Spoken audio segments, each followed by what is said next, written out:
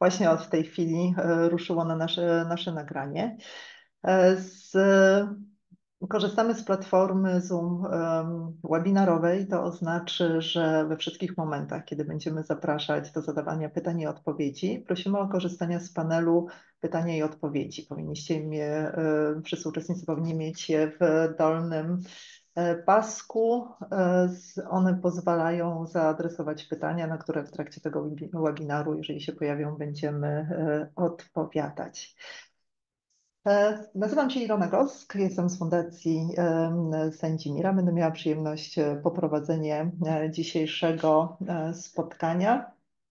Spotkania, które jest kontynuacją akcji Pytamy o Zielone, które zostało zainicjowane na początku tego roku i w związku z wyborami samorządowymi, do których, w ramach którego zapraszaliśmy zapraszaliśmy lokalnych aktywistów, społeczników, ale po prostu też mieszkańców do tego, żeby zadawali pytania z kandydatom do różnych ciał samorządowych o to, jak widzą ochronę przyrody, adaptację do zmian klimatu, mitygację zmian klimatu w swoich programach.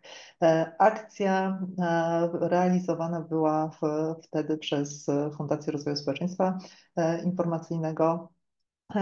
Dzisiaj od dwóch miesięcy akcję tą prowadzi Fundacja Sędzimira i mam nadzieję, że te wydarzenia, które Wam w ramach tej akcji zaproponujemy, spotkają się z Waszym zainteresowaniem, ciekawością i dobrym odbiorem.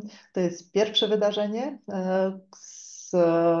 które mam nadzieję, że będzie dla Was bardzo ciekawe, które nagramy, które będziemy udostępniać. Natomiast zachęcam do brania udziału w, w wydarzeniach na żywo, ponieważ wtedy macie możliwość zadawania pytań i e, uzyskiwania odpowiedzi od naszych znakomitych gośćmi, gości. A dzisiaj tymi gośćmi będą Iwona Wagner, członkini Rady e, w Fundacji Sędzimira, ale przede wszystkim ekspertka z gospodarowania wodami opadowymi, która w pierwszej e, części naszego spotkania opowie nam, e, jakie są najważniejsze e, aspekty gospodarowania wodą w zlewni, jak to się przykłada na gospodarowanie wodą w gminie, co najważniejszego w tym obszarze trzeba wiedzieć, jakie najważniejsze działania podejmować.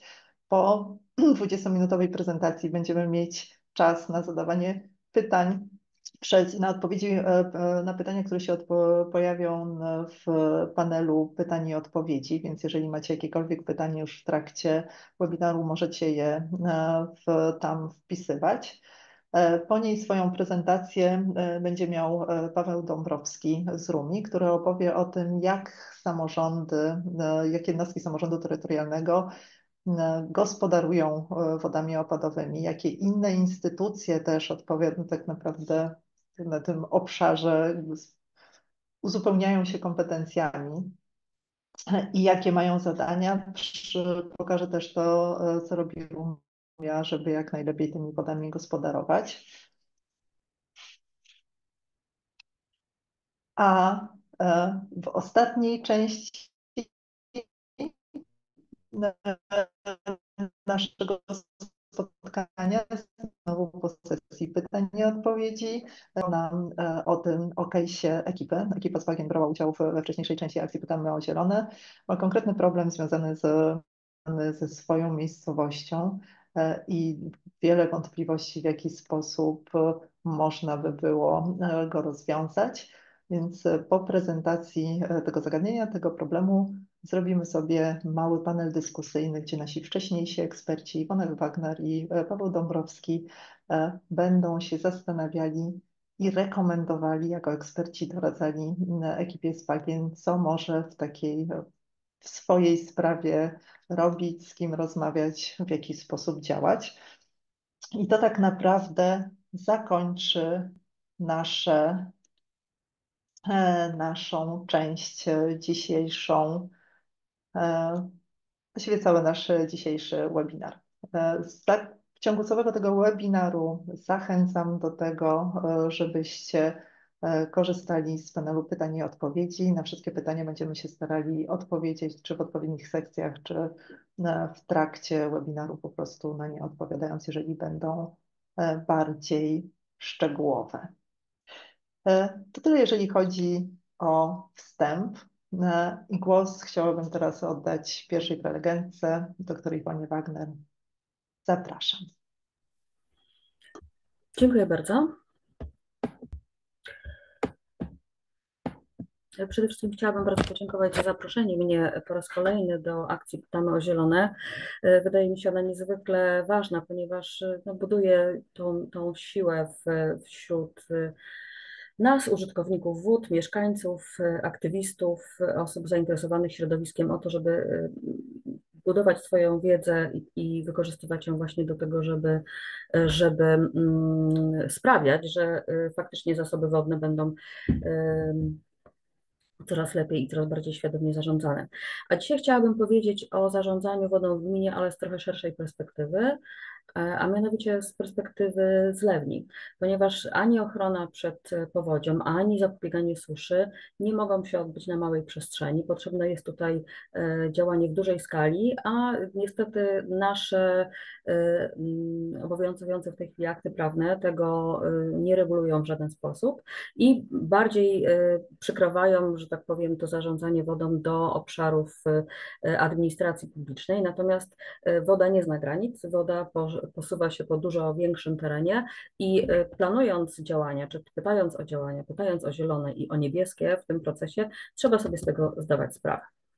E, tak więc mamy w tej chwili, no w ogóle mamy sytuację trudną, ponieważ e, borykamy się e, z kilkoma kryzysami. Przede wszystkim jest to kryzys klimatyczny, o którym no w tej chwili chyba już wszyscy wiemy.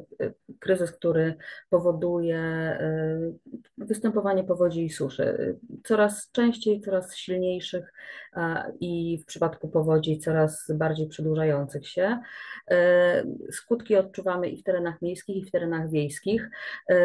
Również ten szybki spływ wody y, powodziowy z zanieczyszczeniami powoduje problemy z jakością wody.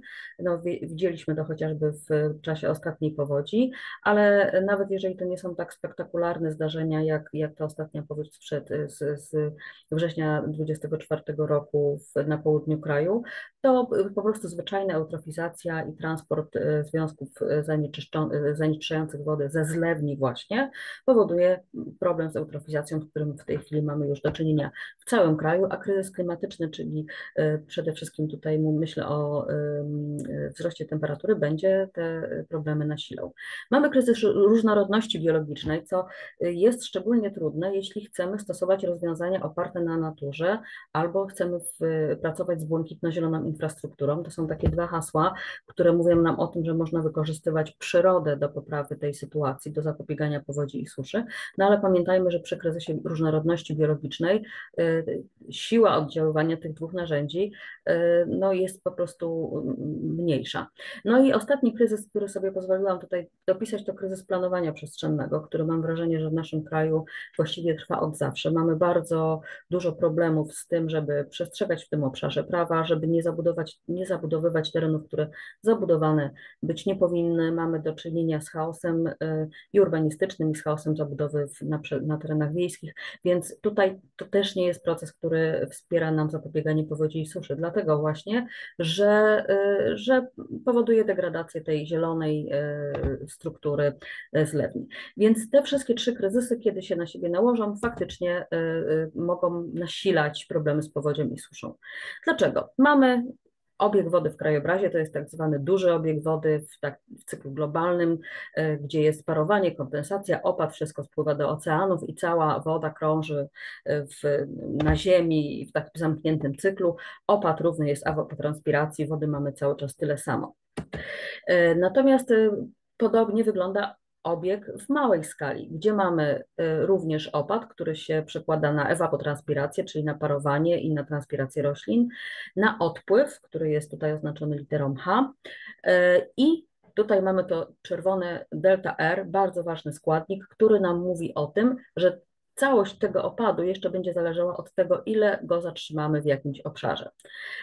Ten mały obieg właśnie zależy od funkcjonowania ekosystemów, czyli tej błękitno-zielonej powierzchni terenu i on będzie nam przede wszystkim decydował o tym, ile paruje, transpiruje, wsiąka i wchodzi w to delta R, czyli szeroko pojętą retencję. Obszar, o którym mówimy przy małym obiegu wody, to jest zlewnia. To właśnie w zlewni odbywają się te wszystkie, te, te wszystkie procesy, które ostatecznie prowadzą do tego, że nadmiar wody, który nie jest zatrzymywany przez tereny zielone, spływa powierzchniowo do rzek i rzeką odpływa gdzieś tam w dół. Czyli to jest nasz taki podstawowy teren, teren zlewni, w którym decydujemy o tym, jak dużo wody w tym terenie zatrzymamy. Obrazek jeszcze się do tego komplikuje, jeżeli dodamy do tego y, wody podziemne. Też to jest ważna rzecz, żeby pamiętać, że wody powierzchniowe i podziemne są ze sobą powiązane. Y, za ilość wód podziemnych odpowiada właśnie to wsiąkanie, infiltracja, o którym y, mówiłam przed chwilą. Wody podziemne są z kolei jako wyciągane, drenowane, wyciągane na wierzch przez wody powierzchniowe, a więc tak naprawdę y, one są cały czas ze sobą powiązane, czyli to, co widzimy w rzece, to są te wody podziemne, które wypłynęły y, na powierzchnię, ponieważ woda, ponieważ rzeka płynie w tym najniższym punkcie. A więc to wszystko jest system naczyń połączonych. Im więcej y, podejmujemy działań, żeby woda wsiąkała w krajobrazie, tym bardziej ona zasila wody podziemne. Wody podziemne w stabilny sposób zasilają rzeki, które nie powodują bardzo gwałtownych y, y, wylewów, albo przynajmniej nie, nie, nie w takim e, dużym e, stopniu, w jakim, z jakim mamy do czynienia w momencie dużego uszczelnienia zlewni, e, ale też utrzymują jakiś tam minimalny poziom w czasie okresów bezopadowych. Czyli trochę stabilizujemy te rzeki. Oczywiście nie możemy wykluczyć wezbrań, dlatego że to jest oczywiście zupełnie naturalny proces i on jest związany albo z roztopami, albo z intensywnymi opadami, ale możemy w znaczny sposób wpływać na, na wielkość tych tych wezbrań i na to, czy wystąpi powódź, a więc takie wezbranie z, ze skutkiem e, negatywnym dla ludzi zamieszkujących e, dany obszar, czy też nie. E, tak więc ta ilość zasobów wodnych, którą mamy w zlewni, a również zagrożenie powodziowe i suszowe zależy tak naprawdę bezpośrednio od opadu i odparowania, na które nie mamy wpływu w sposób bezpośredni, ale zależą też od zagospodarowania krajobrazu, a tutaj wpływ mamy bardzo bezpośredni, e, ponieważ e, to, co się będzie działo z wodą, będzie zależało po prostu od pokrycia e, terenu zlewni terenami zielonymi. Czyli tutaj wykorzystując ekohydrologię, tę zależność pomiędzy, pomiędzy przepływem wody w tym obszarze, a obecnością roślin możemy wpływać na to, co się dzieje w zlewni, ile mamy dostępnych zasobów i na ile ewentualnie możemy być narażeni na y, zjawiska takie ekstremalne. No i teraz jak to się ma do, naszych, y, do naszego zarządzania wodą w gminie, ponieważ o tym mamy dzisiaj mówić. Na, tym, na tej mapie widzicie Państwo jakiś wybrany dowolnie fragment Polski, który pokazuje w jaki sposób wyglądają akurat na tym terenie granice gmin. Jeżeli sobie na to nałożymy rzeki, to widzimy już, że te rzeki oczywiście granic gmin nie będą respektować, przebiegają czasami po granicy, a czasami a zupełnie w poprzek, czyli to są dwa systemy zupełnie niepowiązane. Jeżeli do tego dodamy sobie jeszcze granice zlewni, no to ta, ten obrazek się robi jeszcze bardziej skomplikowany.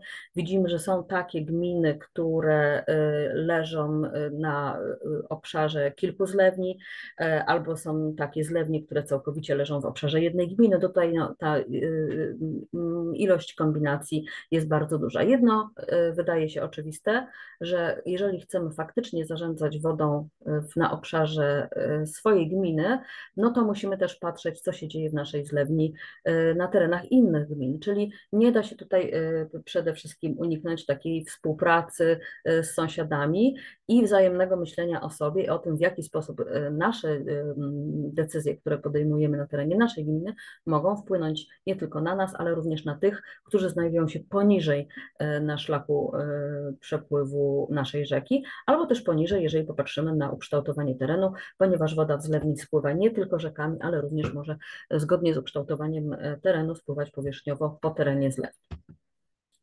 No i żeby stabilizować ten cykl obiegu wody, można stosować wiele y, rozwiązań właśnie związanych z zagospodarowaniem przestrzennym i tutaj ja będę mówiła o rozwiązaniach opartych na przyrodzie, czyli takich, które właśnie wykorzystują błękitno-zieloną infrastrukturę, tereny zielone, tereny podmokłe, renaturyzację rzek, czyli wszystkie rozwiązania, które odwołują się do prawidłowo funkcjonujących ekosystemów. Y, o czym trzeba pamiętać, y, przystępując do tego typu działań?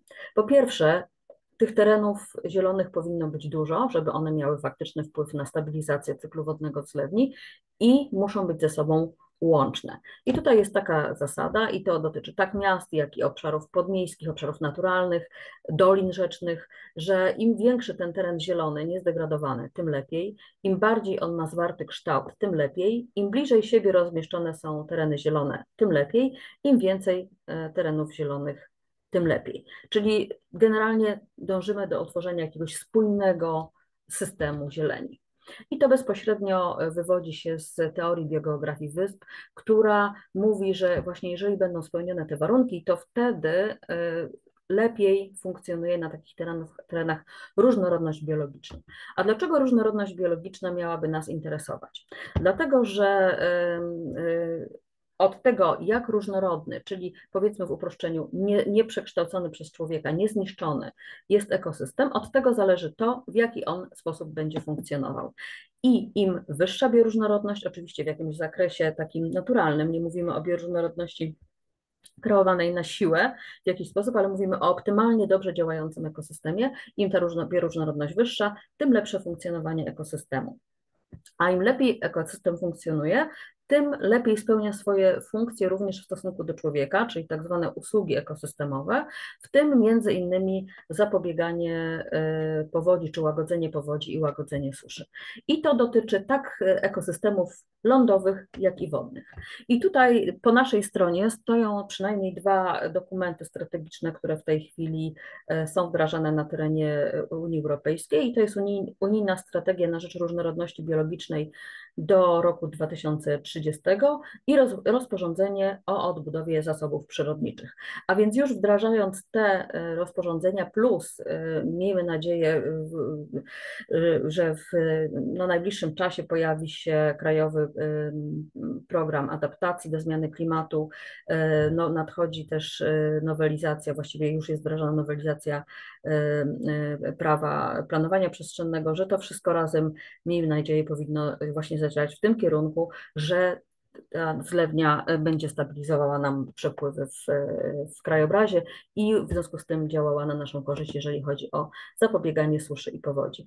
A więc łączność, po drugie bioróżnorodność, po trzecie woda. Musi być e, woda dostępna dla terenów zielonych w krajobrazie, no i musimy tę wodę również zatrzymywać tak, żeby ona bardzo szybko nie dopływała do rzek, po to, żeby właśnie nie, nie powodowała zagrożenia powodziowego.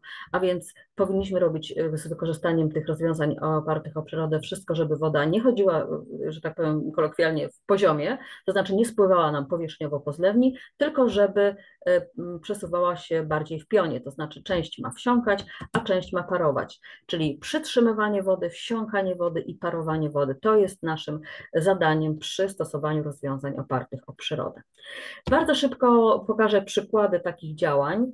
E, wszystkie te tereny znajdziemy w, w każdej zlewni, czyli na przykład tereny rolnicze i tutaj kluczowe jest przytrzymywanie właśnie wody, na przykład w systemach melioracyjnych, nawet 10-15 y, centymetrowe podniesienie y, poziomu wody w systemach melioracyjnych, które mają y, funkcję niestety u nas wciąż na ogół tylko drenującą, będzie powodowało podniesienie poziomu wody. Tutaj jest taki obrazek, który to pokazuje dlaczego. Jeżeli podniesiemy troszkę poziom wody w systemie melioracyjnym, wówczas również do góry podniesie się poziom wód gruntowych, a to w sposób bezpośredni zapobiega suszy, łagodzi, nie zapobiega, ale łagodzi suszę. No i to przytrzymywanie wody oczywiście e, też powoduje e, to, że ta woda tak szybko nie odpływa i nie, po, nie powoduje nam e, podtopień poniżej.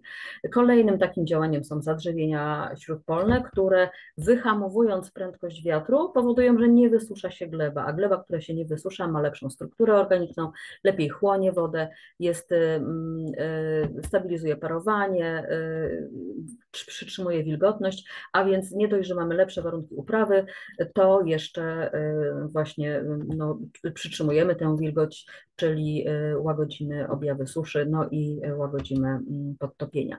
Kolejny przykład, śródpolne oczka wodne. Te, ten przykład akurat pochodzi z Danii. Tam na wyspie Aero wybudowanych zostało w ciągu ostatnich 40, 40 lat przez firmę Amficonsult 100 oczek wodnych i one bardzo fajnie funkcjonują. Jak widzicie, są ostoją różnorodności biologicznej. Tutaj mamy zresztą zdjęcie z, z takiego momentu, kiedy, kiedy mm, do oczka są wprowadzane młode osobniki żab, które, które mm, wspierają tą różnorodność biologiczną. No i takie oczka bardzo fajnie też stabilizują e, obieg wody w krajobrazie. Jeżeli chodzi o krajobraz miasta, no tu jest bardzo dużo e, fajnych rozwiązań, które w ostatnich latach mocno się rozwinęły, ale ja bym powiedziała po pierwsze nie szkodzić, to znaczy nie niszczyć tego, co zielone już jest i tutaj naprzeciw nam wychodzi koncepcja czwartej przyrody. Nie zawsze tereny, które są tak zwanymi nieużytkami muszą być terenami, które są również rezerwo pod zabudowę. To są tereny przyrodniczo bardzo cenne, nie trzeba tutaj e, w nie inwestować, nie trzeba ich, e, nie wiem, e, renaturyzować parku, czy, czy, czy różnego tego typu działania czasami się pojawiają. One się niestety wiążą z tym, że w jakiś tam sposób ta, ten system przyrodniczy na, bardzo często może ucierpieć, a tutaj nie. To naprawdę nie trzeba tego robić, wystarczy po prostu nie niszczyć. Pamiętajmy, że błękitno-zielona infrastruktura to nie jest coś, co trzeba wybudować. Ona jest trzeba jej przede wszystkim nie niszczyć. No ale już tam, gdzie, gdzie tej błękitno-zielonej infrastruktury brakuje, też możliwe jest prowadzenie różnych działań, na przykład y, łąki kwietne zamiast trawników. Jeżeli mamy bardziej reprezentacyjny obszar, no to mogą być rabaty wielokwiatowe, bardziej uporządkowane. Jeżeli uda się jeszcze je troszeczkę ulokować na niewyrównanym terenie, to wtedy jeszcze będą w tych wszystkich zagłębieniach łapać wodę i to też y, stabilizuje nam cykl wodny. To są y, ogrody deszczowe, które można budować w bardzo fajny fajny sposób, partycypacyjnie, włączając mieszkańców, powodując, że, że uczą się y, bezpośrednio tego, w jaki sposób można robić tego typu rozwiązania i one wtedy się bardzo szybko taką siecią społeczną y, transferują na nowe obszary. To są przykłady z kolei z Radomia, z projektu Life Radom Klima. Bardzo zachęcam, żeby zajrzeć na stronę projektu. Tych rozwiązań tam jest bardzo dużo y, i one są, one są różne, ale mają wspólną cechę. Przetrzymują wodę, wspierają różnorodność biologiczną. Bardzo lubię tu tutaj to zdjęcie, mieliśmy wątpliwość, jak, jak e, ten eksperyment wyjdzie, ale okazało się, że drzewa w takim, e, w takim zagłębieniu, w którym są dosyć zmienne, a więc niekoniecznie tak w sposób oczywisty dobre dla drzew e, warunki, jednak mimo wszystko w tym kryzysie klimatycznym lepiej sobie radzą niż wszystkie inne drzewa w, na terenie tej szkoły, ponieważ po prostu ten dostęp do wody mają. Wodę można zatrzymywać w terenach zieleni wzdłuż y, ciągów komunikacyjnych. Warunek jest taki, że musi być miejsce, którędy ta woda wpływa na ten teren zielony, a teren zielony musi być obniżony. Y, również można przetrzymywać ją na parkingach. Ostatni element tego krajobrazu całego, krajobrazu zlewni, no to są rzeki, czyli ten ten y, punkt, który jest w krajobrazie najniżej. Tutaj doświadczenia Uniwersytetu Łódzkiego z realizacji projektu ECHREK na rzece Bzurze i y, stawach y, w Arturówku. Mm, to jest takie rozwiązanie hybrydowe, które się składa zarówno z takich technicznych elementów, jak na przykład separatory zawiesień czy, czy mm, substancji ropopochodnych, tuż poniżej odpływu z drogi, ale później z tych, z tych separatorów woda nie jest uwalniana do zbiornika zaporowego, tylko takiego dużego systemu doczyszczającego wodę właśnie po to, żeby już w zbiorniku zaporowym ta woda była czysta i żeby można było z niej korzystać e, rekreacyjnie. Następnie, jeżeli chodzi o rzeki, no to mamy tą tendencję, e, mieliśmy przez lata, mam nadzieję, że ona teraz się zmienia, żeby rzeki prostować. Jakie są konsekwencje takiego działania. Po pierwsze, bardzo się skraca długość koryta. Już w samym korycie, gdybyśmy chcieli to policzyć ze zwykłego wzoru najprostszego z przekroju koryta, tej wody się gromadzi wtedy znacznie, znacznie mniej, czyli tutaj y, prostowanie koryta na pewno nie ma działania przeciwpowodziowego, tylko wręcz przeciwnie. No i do tego y, taka kręta dolina ma łączność, y, taka kręta, kręta rzeka ma łączność ze swoją doliną zalewową, czyli mamy tutaj dużo jeszcze większą niż trzy razy retencję dolinną, która naprawdę y, y, przeciwdziała nam i powodziowo, i, i suszowo. Y, poza tym każda wyprostowana rzeka wymaga wiecznego pogłębiania, ponieważ ona po prostu bardzo szybko się zamula, a o tym już mówiliśmy, co się dzieje przy pogłębianiu lub przy podnoszeniu poziomu wody. Każde pogłębienie będzie nam pogłębiać problem suszy i wcale nie będzie nas chronić przed powodzią. Kolejna rzecz, którą na pewno trzeba zmienić, jeżeli chodzi o postępowanie z rzekami, no to ich utrzymywanie. No to jest taki temat, wydaje mi się, głośny i wszyscy już wiemy, że to utrzymywanie rzek nie może polegać na tym, że po prostu wyjmujemy rzekę z koryta i kładziemy ją obok, ponieważ wtedy rzeka właściwie traci wszystkie swoje funkcje ekologiczne, staje się tylko kanałem do przepływu wody. No ale mamy, mamy katalogi dobrych praktyk, można sobie je znaleźć e, w internecie, ściągnąć. Naprawdę można to utrzymywanie rzek robić w taki sposób, że e, utrzymujemy ich przepływ, ale również nie niszczymy ich e, systemu przyrodniczego. A czasami po prostu wystarczy zostawić dolinę zalewową samą sobie i tu jest też przykład z jednego z małych miast w Polsce, gdzie cała Dolina Drwęcy działa po prostu jak ogromny system przeciwpowodziowy. Inwestycja równa się zero, zabezpieczenie przeciwpowodziowe w tej sytuacji 100%. W tym miejscu nie ma powodzi, ponieważ jest przestrzeń dla rzeki, tak żeby ona się wylała bezpiecznie. Jeżeli już takiej przestrzeni nie ma, można, i tutaj znowu zachęcam do zajrzenia na stronę projektu Life Radom Klima, odbudowywać trochę taką przestrzeń poprzez robienie suchych zbiorników e, w dolinach zalewowych, i to jest właśnie przykład takiego suchego zbiornika, który w okresie e, bezopadowym no, wygląda tak, jak tutaj widać na, na tym filmiku. Natomiast w momencie, kiedy zaczyna padać deszcz, wszystkie trzy jego części wypełniają się wodą, która nie wylewa się tutaj na tę drogę mm, na boku. E, no i ostatni etap, renaturyzacja rzek renaturyzacja już samego koryta, łączności z doliną, ponieważ one powodują e, zwiększenie tej pojemności powodziowej. Na koniec, Jeżeli myślicie o y, zarządzaniu wodą w gminie, od czego ja bym y, sugerowała, że można zacząć analizę naszego terenu do, y, do zarządzania? Po pierwsze, zorientować się, gdzie jest moja zlewnia i z jakimi gminami tę zlewnię dzielę. Tu jest przykład e, Kłodzkiej Wstęgi Sudetów, 11 gmin, dla których robiliśmy międzygminny plan adaptacji. Tutaj mamy podział na gminy, a tutaj podział na jednolite części wód, to jest 21 zlewni, a jeszcze do tego dodać takie malutkie zlewnie, to jest ich pewnie znacznie więcej. Tak naprawdę każda, każdej zlewni należałoby się przyjrzeć osobno. Po drugie, zobaczmy, jakie mamy rzeki i w jakim są stanie. To, jakie mamy rzeki, możemy sobie sprawdzić na przykład na hydroportalu, e, natomiast w jakim są stanie, można sprawdzić, e, za chwileczkę podam te, te źródła, e, na przykład w Krajowym Programie Renaturyzacji Wód Powierzchniowych i tam będziemy wiedzieli, jakiej, jak dużej renaturyzacji potrzebuje nasza rzeka. Następnie popatrzmy, jak jest ukształtowana powierzchnia i jaką mamy powierzchnię terenów zielonych, w tym lasów, terenów chronionych, naturalnych i jak one są rozmieszczone, czy mogą chronić nas przed podtopieniami i powodziami, y, czy też y, powodują jakiś znaczny spływ powierzchniowy. Czy i gdzie jest melioracja i jak funkcjonuje albo gdzie kiedyś były tereny podmokłe. Tutaj mamy przykład Opoczna. Kiedyś miał wielki teren podmokły powyżej miasta, których działał właśnie jak błękitno-zielona infrastruktura przeciwpowodziowo. Później został on zmeliorowany, a więc cała ta woda spłynęła w dół i w tej chwili powoduje podtopienia w mieście, a więc naprawdę nie zawsze e, odprowadzanie wody jest e, wskazane. I gdzie możemy znaleźć te wszystkie informacje? Jeżeli chodzi o jakość jednolitych części wód, szukajmy ich w Głównym Inspektoracie Ochrony Środowiska. Możemy sami interweniować. Tutaj jest taka przykład takiego, y, takiego działania oddolnego. Y, jest aplikacja Zgłoś rurę. Jeżeli nie wiemy, co zrobić, żeby y, interweniować w przypadku zanieczyszczenia wody, możemy zawsze to przez tą aplikację zgłosić jakąś nieprawidłowość i, i są ludzie, którzy się tym zajmą. Szukajmy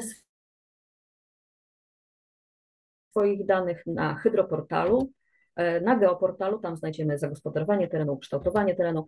E, w geoserwisie e, Generalnej Dyrekcji Ochrony Środowiska, tutaj znajdziemy informacje na temat terenów chronionych i w, tym, mm, w tej aplikacji, czy na tej stronie Arcanum Maps, którą tutaj widzicie Państwo na górze, będą informacje na temat historycznych, historycznego przebiegu terenów podmokłych. I na koniec nie mogę już chyba kliknąć, o jest, Krajowy Program Renaturyzacji Wód Powierzchniowych, bardzo zachęcam do zapoznania się z tym, e, z, tą, z tym opracowaniem. Można również wystąpić do Wód Polskich o bazę danych, która e, pokaże Państwu, jakie działania renaturyzacyjne powinny być podejmowane e, w rzekach na terenie Państwa gminy. Dziękuję bardzo za uwagę. My również dziękujemy za wspaniałą prezentację i niezwykłe zdyscyplinowanie. Bo rzeczywiście trwało 20 minut ta nasza prezentacja. Iwono, mamy wiele pytań od jednej zresztą uczestniczki. Wiem, że nas jest sporo więcej, ale ewidentnie jedna osoba jest niezwykle zainteresowana pytaniami. My nie zdążymy prawdopodobnie odpowiedzieć na wszystkie z nich. Z, nie wszystkie są też, nie wszystkie są też ściśle powiązane z naszą dzisiejszą rozmową, ale pozwolę sobie z tego, spośród tych pytań wybrać kilka, które są najbardziej wydają mi się adekwatne i myślę, że są najbardziej ciekawe, a dotyczą po pierwsze dotyczą zbiorników retencyjnych. Tu się pojawiło dwa pytania. Pierwszy dotyczące zbiorniki, brzmi tak, zbiorniki retencyjne małe powodują obniżenie poziomu wód gruntowych. Dlaczego są do nich dopłaty? I od razu pozwolę sobie zrobić drugie pytanie, bo to jest takie trochę w pakiecie.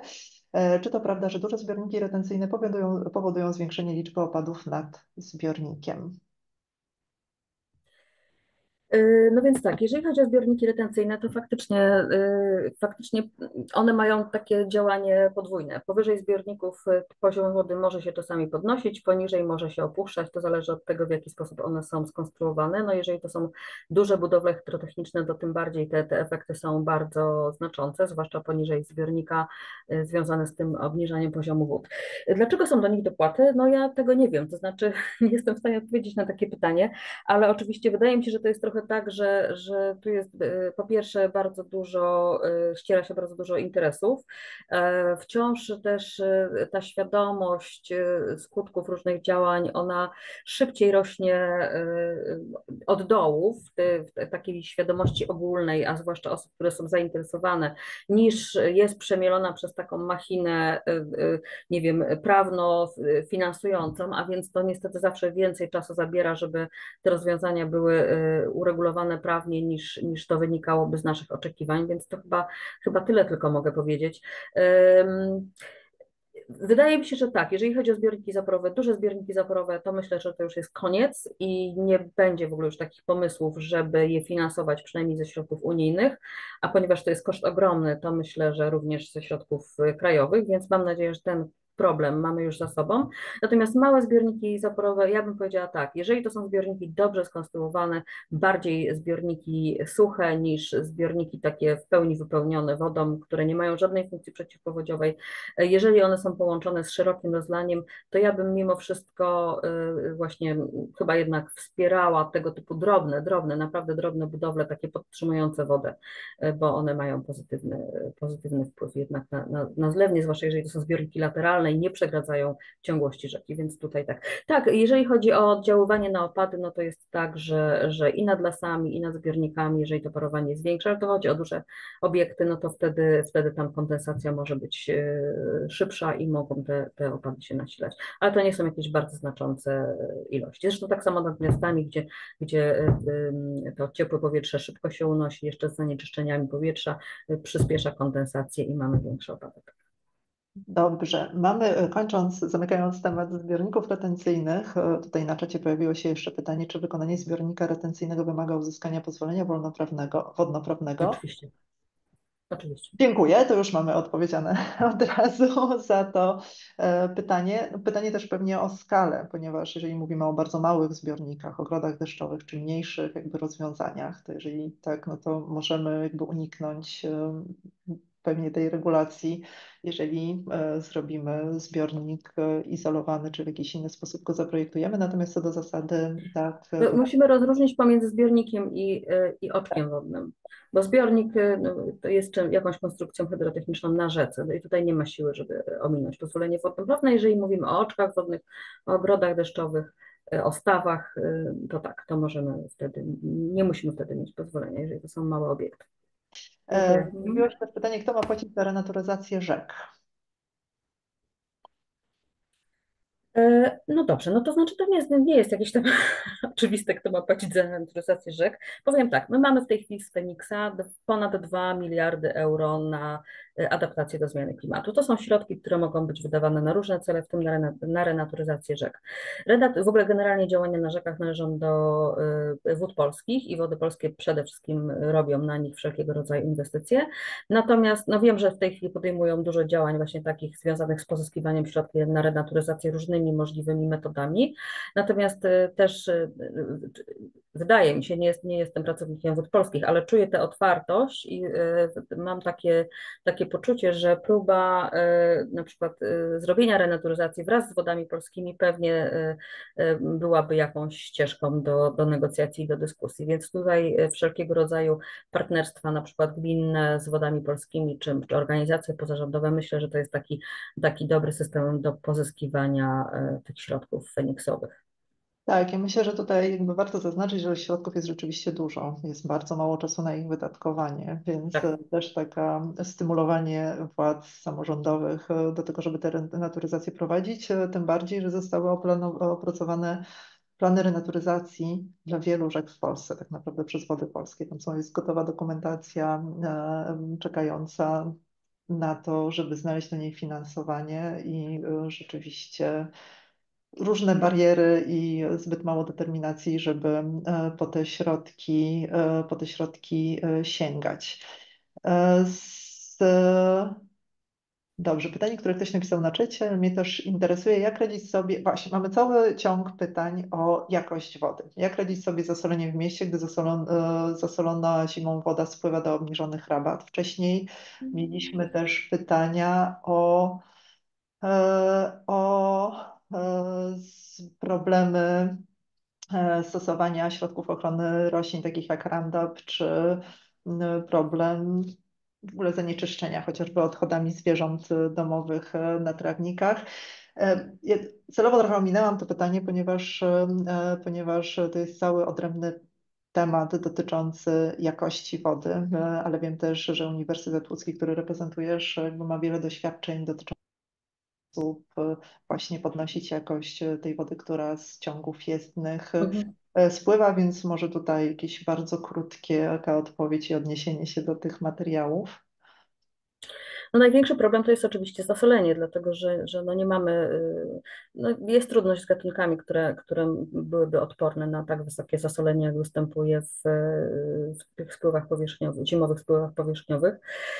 E, I powiem tak, no, woda to system naczyń połączonych e, i trzeba o tym pamiętać, dlatego lepiej nie, nie doprowadzać do sytuacji, kiedy coś trzeba oczyszczać, ale jednak przede wszystkim nie zanieczyszczać. I e, ja rozumiem, że odejście od zimowego solenia dróg jest trudne mentalnie y, dla wielu osób, ale być może jednak po prostu trzeba myśleć o tym, żeby przede wszystkim nie solić. Jeżeli już mamy sól, która się nam dostaje do roboty, no to faktycznie możemy mieć problem z tym, żeby, żeby ją obronić. Dlatego stosuje się różnego rodzaju takie mm, fizyczne bariery zapobiegające temu spływowi. Jeżeli chodzi o resztę zanieczyszczeń w, spływających z dróg, no to w tej chwili po pierwsze od lat już są takie tendencje, że te, te stężenia są coraz mniejsze. Jeździmy coraz lepszymi samochodami i, i tutaj już te spływy nawet takie no, olejowe czy, czy metal, no metale ciężkie to zawsze będą, bo to jest kwestia klocków hamulcowych i ścierania opon, ale, ale te, te zanieczyszczenia ani nie są e, tak duże jak były kiedyś, ani to nie jest tak, że rośliny sobie z nimi nie poradzą. To nie, nie hodujemy przy ulicach roślin, które potem zjadamy, więc, więc no, niestety one trochę pełnią taką rolę doczyszczającą, taką fitoremediującą i, i będą sobie z nimi radzić. Dobrze. E, dziękujemy za te pytania. Nie na wszystkie odpowiedzieliśmy. E, I e, natomiast mam taką propozycję do, do Ciebie, Iwono, w trakcie następnej prezentacji, gdybyś mogła wejść na panel pytań i odpowiedzi i odpowiedzieć na pozostałe pytania, które się tam pojawiły, to będę bardzo zobowiązana. Myślę, że możemy pominąć te dotyczące, dotyczące zachęt finansowych i narzędzi, które mają zachęcać do zachowywania zieleni w mieście, bo myślę, że odpowiedź na to pytanie poniekąd usłyszymy w naszej kolejnej prezentacji, do której, właściwie wypowiedzi, do której chciałabym zaprosić pana Pawła Dąbrowskiego z Rumi. Dzień Dzień. dobry Państwu. E, Jestem urzędnikiem, e, pracuję w mieście, w, mieście Rumia, troszkę też e, innych e, pobliskich miastach i instytucjach. Poproszono mnie, żebym powiedział Państwu, kto odpowiada za wody, za powodzi w gminie. Nie ma tutaj niestety żadnej prostej odpowiedzi. Oczywiście można wskazać wody polskie, ale wody polskie odpowiadają za wody płynące, za duże rzeki, także za meliorację podstawową, czyli kanały, krótko mówiąc, takie sztuczne twory, które prowadzą jakieś wody. Ale są wyjątki, tak? Jeśli mamy elektrownię wodną, to zbiornik będzie należał do jakiejś spółki energetycznej. Inne piętrzenia też mogą mieć swoich właścicieli. W przypadku mojego miasta, na przykład y, staw miejski, który jest przepływowy na rzece, też jest wyłączony z wód polskich i należy do gminy i gmina za niego odpowiada. Co jeszcze? Czasami na terenach gmin działają jeszcze spółki wodne, ale one zajmują się powiedzmy terenami rolnymi, i retencją, która niestety u nas bardzo często była, czy w zasadzie tylko była w minionym okresie osuszaniem gruntów. Teraz trochę się to zmienia. Należy pamiętać, że definicja retencji, yy, definicja melioracji, którymi się te spółki wodne zajmują, melioracja powinno to być utrzymywanie właściwych stosunków wodnych, właściwych do produkcji rolnej. U nas to bardzo często było tylko osuszanie terenu. Jest oczywiście gmina, miasto, tak, zależy w jakiej jednostce Państwo się znajdujecie. I tutaj jest olbrzymi, olbrzymi rozstrzał. Jeżeli są to duże miasta, zwłaszcza miasta na prawach powiatu, one się naprawdę tym zajmują, mają jakąś inwentaryzację sieci, mają jakieś komórki, które się tą siecią zajmują. Mamy średnie miasta, które dopiero uczą się tego robić, próbują to ogarnąć. Mamy też y, gminy, które w ogóle kanalizacji deszczowej nie posiadają, w zasadzie nie panują nad tym. Odbywa się to na zasadzie, a jakoś to będzie.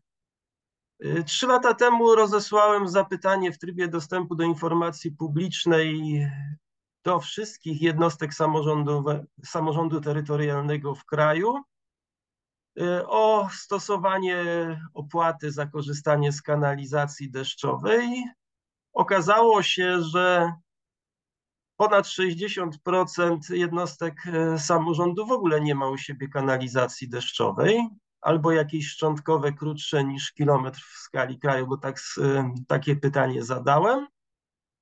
Natomiast 126 na tamten czas jednostek samorządu terytorialnego, to wszystko były miasta, duże, ale też i średnie, posiadało system opłat za korzystanie z kanalizacji deszczowej. Jest to jakiś, y, y, jakiś wskaźnik y, tego, że te miasta miały już w dużym stopniu takie te rzeczy opanowane i świadomie nimi gospodarowały.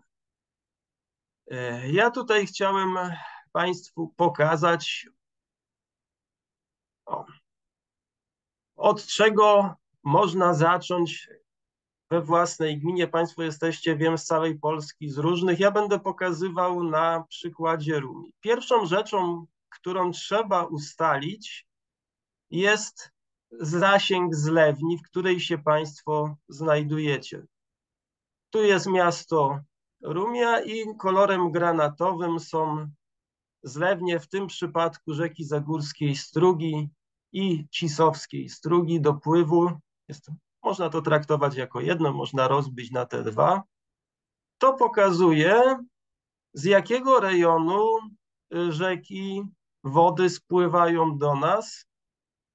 Y, Tutaj możemy to zobaczyć też na tle podziału administracyjnego, więc widzimy, że oprócz Rumi mamy tu Gdynię, powiat, gminę Wejherowo, inne jeszcze drobne kawałki należą jeszcze gdzieś indziej, tak, tutaj mamy Kosakowo.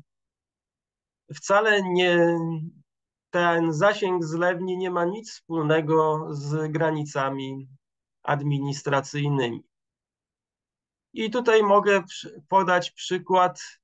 Tutaj w dolnej części widać, to jest tak zwana trasa kaszubska, rząd się chwalił. Co ona ma do Rumi, która jest tutaj niby niewiele daleko, ale okazało się, że cały teren na dużym odcinku tej autostrady czy drogi szybkiego ruchu został odwodniony w ten sposób, że szybko i sprawnie odprowadzono rurami i tutaj do Zagórskiej Strugi zrzucono, bo tutaj jest to głęboka rzeka, miejsce było tak, no pozbyto się problemu. Nie wiedzieć czemu w Rumi coraz wyższe, coraz wyższe stany wody się po tym po deszczach nawalnych pojawiają, bo ten problem po prostu przerzucono gdzieś dalej. Y, tutaj poprzedniczka mówiła o budowie wałów i tak dalej. Jeżeli w jakimś terenie tą rzekę sobie uregulujemy, wyprostujemy, to przerzucamy problem dalej. Y, tutaj jak się przyjrzymy, widzimy rzeczy, które za tak zwanej komuny robiono z tą rzeką, ale także wcześniej. Widać, rzeka płynie sobie i konitop pod sznurek i potem w naszym przypadku tak fajnie zakręca i sobie gdzieś odpływa. Dlaczego tak się dzieje? Bo tutaj stare koryto rzeki zostało wykorzystane jako kanał zrzutowy z oczyszczalni.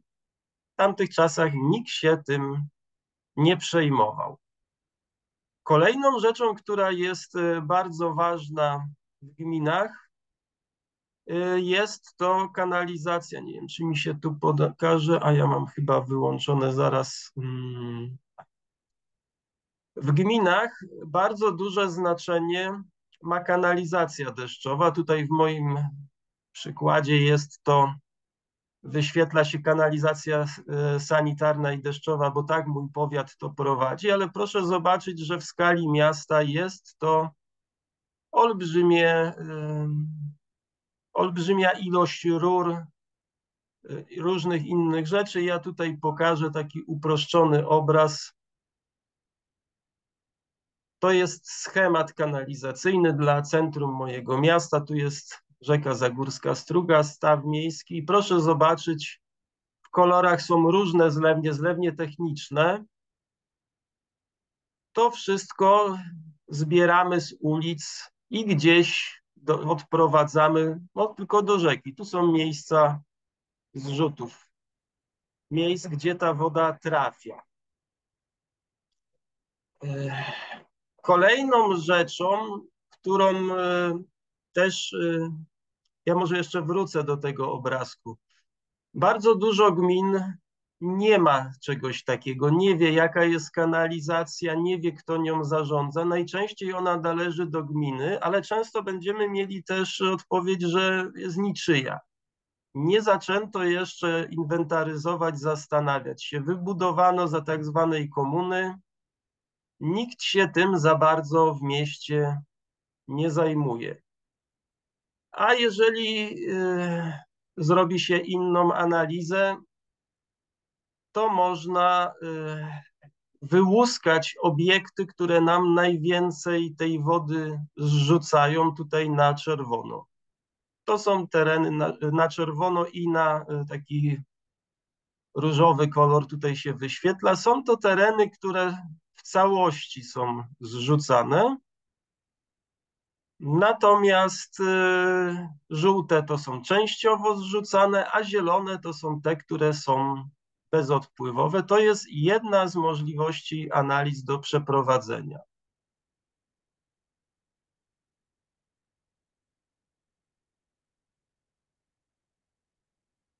Dobrze.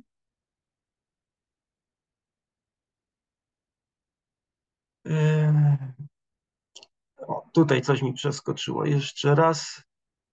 E, Dobrze. Teraz co najważniejsze, co gmina może zrobić? Cały czas tutaj mamy głosy od naszych uczestników, że cały czas widać ekran z kanalizacją i nie było widać ekranu z kolorowymi plamami, stawami i tak dalej, więc nie Już, czy- już ponawiam. Czy teraz widać? Tak. Tak, no to coś e, się musiało zadziać. To jeszcze raz ten ekran, to jest centrum mojego miasta i jest to analiza, która powstała przy okazji naliczania opłaty za korzystanie z kanalizacji deszczowej. Na czerwono i różowo obiekty, które w całości są odprowadzane, obszary, które są odprowadzane do naszej miejskiej kanalizacji. Na żółto tereny które są częściowo odprowadzane, czyli na przykład tylko ulice, ale domy już nie.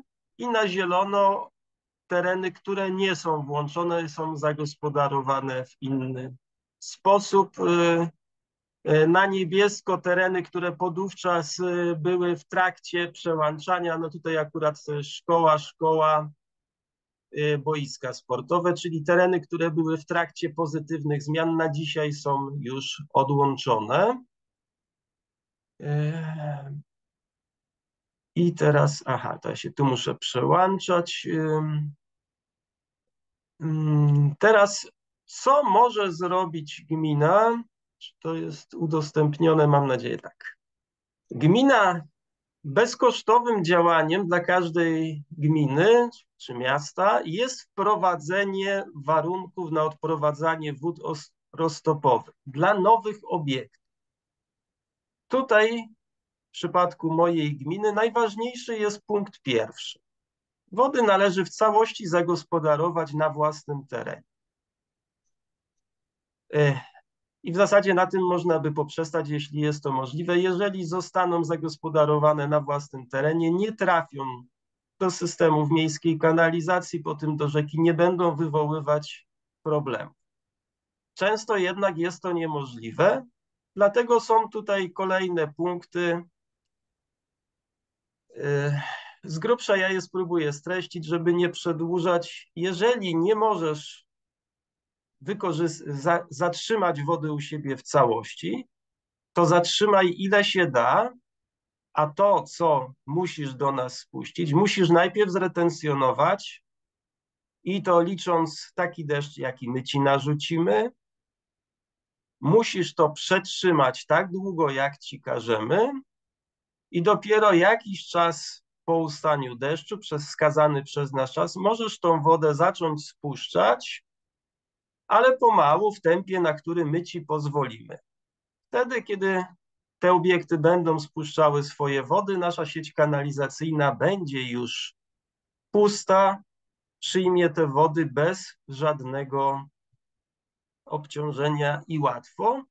Co więcej, bardzo dużo inwestorów, widząc takie warunki, jest skłonne jeszcze raz się zastanowić, czy aby na pewno nie da się zagospodarować u siebie, bo wybudowanie tej retencji to są koszty i to niemałe i w wielu przypadkach okazało się w praktyce, że deweloperzy czy inni inwestorzy rezygnowali z naszych usług, naszej kanalizacji i jednak udawało im się tą wodę u siebie.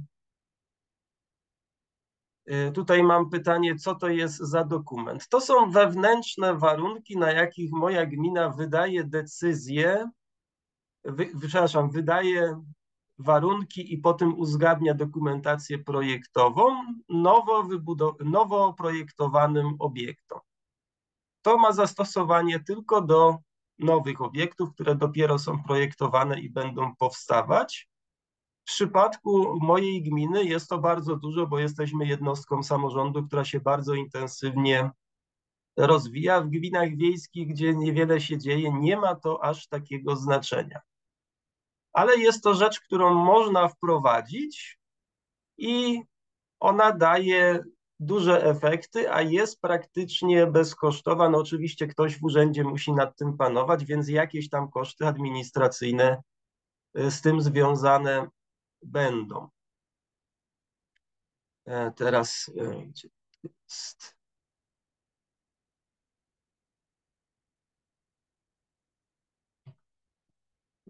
Udostępniasz ekran, dobra. I teraz powinienem, mm, tak. Teraz y, co jeszcze gmina może zrobić? Gmina może na wielu obiektach stosunkowo, nie wiem, czy widać ten, y, chyba widać. Tak, Na wielu- widzimy, tylko prosimy trochę o powiększenie. Dziękuję. Na wielu posiadanych obiektach gmina może sama zatrzymać wodę. To jest kawałek y, cmentarza położonego na skraju lasu. Teren i tak jest otulina cmentarza niewykorzystywany. Przechwyciliśmy y, wody opadowe, przekierowaliśmy je tutaj takim korytem i zbieramy je w zbiorniku. Tutaj no nie bardzo widać, ale jest to cały system zbiorników, jeden za drugim. I efekt jest taki, że ta woda nawet po deszczach nawalnych, bo tu chodziło o e, deszcze nawalne, zostaje zatrzymana, wsiąka, nie wpływa do miasta, nie dostaje się dalej. Tradycyjne obiekty przy drogach na wylocie dróg leśnych do lasu, takie małe oczka, no tu kiepsko widać przekierowanie, dół w ziemi, woda spłynie, zostanie po jakimś czasie wsiąknie. E, Małe oczka wodne, tutaj też nie bardzo widać, starałem się wylot zrobić na dolinie ciąg takich wałów, które zatrzymują wodę. Dołem stały przepływ, jeśli się pojawia czasami, jest przekierowywany małymi rurkami, które przepuszczają stały przepływ, a y, woda po deszczach nawalnych tworzy małe zbiorniczki, całą taką kaskadę y, y, paciorków jakby nanizanych, jest tego kilkadziesiąt w tym ciągu i magazynuje to olbrzymie ilości wody, a też nie wymaga zbyt dużo e, zabiegów. Mój ulubiony przykład po wprowadzeniu opłaty za korzystanie z kanalizacji, niektórzy zmądrzeli i podłączali się od sieci. To jest taki przykład, który mi się bardzo podoba. Niewiele kosztów, tak? Zaślepka na rurze, która była do kanalizacji, dwa kolanka, Okazało się, że tutaj warunki glebowe są na tyle dobre, że to wystarczyło. I tak spółdzielnia zrobiła wszystkie rynny na bloku i nie, nie powoduje spiętrzeń, spiętrzeń w naszej kanalizacji. Zrobiła miejsce na inne wody. To, co trochę kosztuje, ale też niekoniecznie dużo, już tutaj szukam Państwu gdzie ja to mam zapisane? Aj. Aha, tutaj. Coś to wolno dziś. Gmina może zacząć monitorować opady. To jest e, stacja meteo na dachu mojego budynku i dzięki niej e, moja gmina ma dostęp do danych. Tutaj obejrzymy sobie stację meteo. Mamy na bieżąco wszystkie parametry opad, rzeczy, które mierzymy, no, wiatr i tak dalej, ale możemy też przeprowadzić, y, zobaczyć analizę, zobaczyć sumy opadów dziennych. W czasie deszczy nawalnych jest to bardzo istotne. Daje to gminie możliwość sprawdzenia, jakie deszcze są, jak pada, i także do przyszłego modelowania to jest y, bardzo przydatne. Tutaj mam dla Państwa przygotowane, tylko muszę znaleźć. O.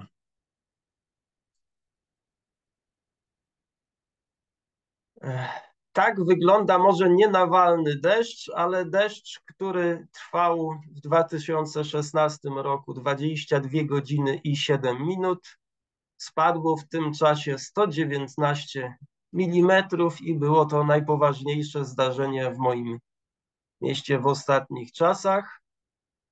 I no nie był to może deszcz nawalny, bo tutaj najwyższe parametry są stosunkowo małe, ale był to deszcz długotrwały i spowodował wiele zamieszania w mieście. Wtedy, że tak powiem, władza się obudziła. Y, tutaj przykład jednego z efektów tego opadu, nowo wybudowany blok, w którym coś nie tak poszło z obliczeniami. No i jak widać, y, cała podziemna kondygnacja stała pod wodą. Co jeszcze może zrobić gmina? Nawet na podstawie darmowych danych e, z państwowego, e, z państwowych źródeł, z Gugiku, może ściągnąć e, modele terenu czy gołe materiały LIDAR. Tutaj mamy kawałek naszej rzeki, konitopu leniwego, ale takie zobrazowanie może pokazać, proszę zobaczyć, w terenie tu absolutnie nic nie widać, są to zaorane pola, ale tutaj widać przebieg, historyczny przebieg starych cieków przed prostowaniem, coś, co pozwala przewidzieć, którędy woda e, popłynie. Kolejną rzeczą, e, którą można sobie zrobić, zasłania, to jest Poltar. E, o, e, tu jest moja mapa. Można najlepiej do swojego jakiegoś programu e, podłączyć dane z, ge, z geoportalu, z hydroportalu. Te wszystkie dane można pobrać i przeglądać sobie gdzie indziej. I można sobie oglądać we własnym geoportalu, można analizować. Ja mam tutaj no, pół godziny góra na wypowiedź, więc y, bardzo trudno to wszystko syntetycznie tak, zrobić. 20 minut, panie Pawle, więc powoli musimy kończyć, bo jeszcze czas na pytania i odpowiedzi. Wiem, tak, jak mam. Tutaj ostatnia rzecz, którą w zasadzie chciałem pokazać, co realnie może gmina zrobić, to są mapy zagrożenia powodziowego na tle mojego miasta. Ja tylko zmienię może podkład na taki e, na zdjęcie lotnicze, na ortofotomapę. Tak wygląda to dzisiaj, czyli mamy jakieś zagrożenie, a chciałem Państwu pokazać, jak to wyglądało jeszcze parę lat temu. Tu widać różnicę. Proszę zobaczyć, jak dużo, ja może to trochę wytłumię jeszcze. Um...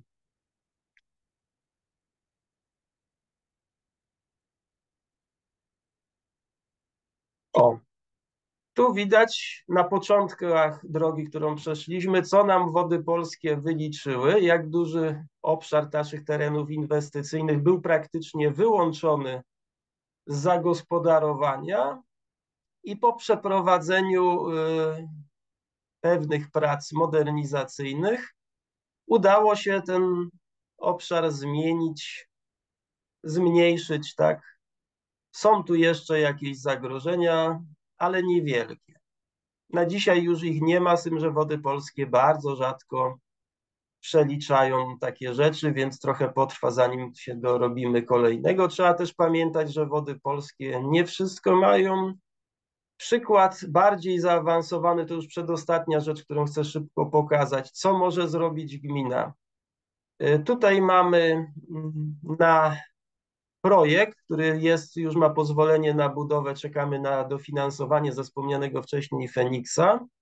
Z rury istniejącej 1200 będziemy przechwytywać wody do zbiorników, a więc będzie to retencja, ale nie tylko. Mamy tutaj moduły podczyszczające i my tej wody już nie oddamy. Ona jest dla nas na tyle cenna, że my tą wodę w całości złapiemy, no może poza jakimiś ekstremalnymi przypadkami, kiedy nadmiar popłynie dalej, ale to jest liczone że takie przypadki powinny być raz na 20 lat statystycznie, a tak cała woda zostanie złapana, podczyszczona prawie do pitnej, ale nie zupełnie, i wydana pod ciśnieniem, będzie przez nas używana do podlewania y, naszych terenów zielonych. Jest to jeden z kilku zbiorników. Jeden jest już nawet w trakcie budowy, jest mocno zaawansowany, a ostatnią rzeczą, którą chciałbym pokazać i przed którą chciałbym przestrzec,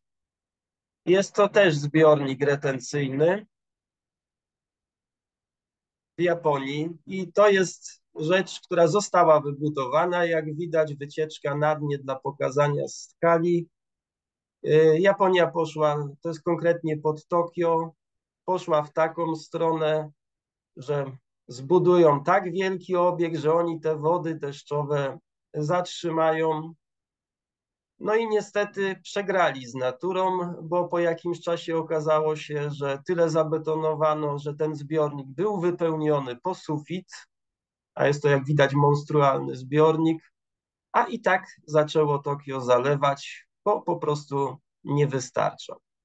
Zachęcam do tego, żeby wody zagospodarować na miejscu w najrozmaitsze sposoby, wymusić, żeby były retencjonowane i zużywane, i wtedy problem sam się rozwiąże, zniknie, bo po prostu nie będzie wody, która tworzy powodzie. Tyle na tę chwilę. Zdaje się, że już przekroczyłem czas. Więc... Nie, szczęśliwie mamy jeszcze e, parę minut e, na Jeszcze parę na minut. pytania, tak. Tak, na pytania. To E, słucham pytań. Proszę jeszcze o zakończenie udostępniania ekranu tylko. Już? Chyba teraz. Nie, fantastycznie. Bardzo dziękuję za opowieść tego, co robi Rumia. Mamy pierwsze pytanie dotyczące tego, czy podobne pytania, podobne zapisy dotyczące retencji opadu e, na działkach e, są również na terenach objętych e, miejscowymi planami zagospodarowania przestrzennego w Rumi. Tak, w planach, w nowych planach miejscowych mamy zawsze zapis, że gmina ma wydać warunki i gmina ma uzgodnić projekt techniczny zagospodarowania, natomiast w ramach współpracy z powiatem wymusiliśmy, to jest troszkę bardziej skomplikowane, ale daje się to zrobić, jak widać, wymusiliśmy, że obiekty budowane na terenach, gdzie nie mamy planów miejscowych, też powiat wymaga naszych warunków. Tutaj może dość ściśle nie jesteśmy miastem na prawach powiatu. Duże miasta mają łatwiej, bo gromadzą tą władzę w jednym ręku, ale dogadaliśmy się i dla obiektów poza planami miejscowymi bądź na, na terenie starych planów miejscowych my musimy wydać warunki i potem uzgodnić projekt techniczny. I mamy dwa pytania trochę ze sobą powiązane, to znaczy e, kwestie e, tego, w jaki sposób zachęcacie Państwo do tego, do zatrzymywania czy prywatnych właścicieli działek, czy biznes, czy, czy wspólnoty mieszkaniowe do zatrzymywania wody na własnej działce. I, i pytanie, co jest związane, jak się domyślam, z pobieraniem opłat za zrzucanie wody do kanalizacji. I drugie pytanie, co się dzieje z tymi pieniędzmi, które Państwo zbieracie? E, Jak zachęcamy? Naj, em, najłatwiej jest zachęcić poprzez wprowadzenie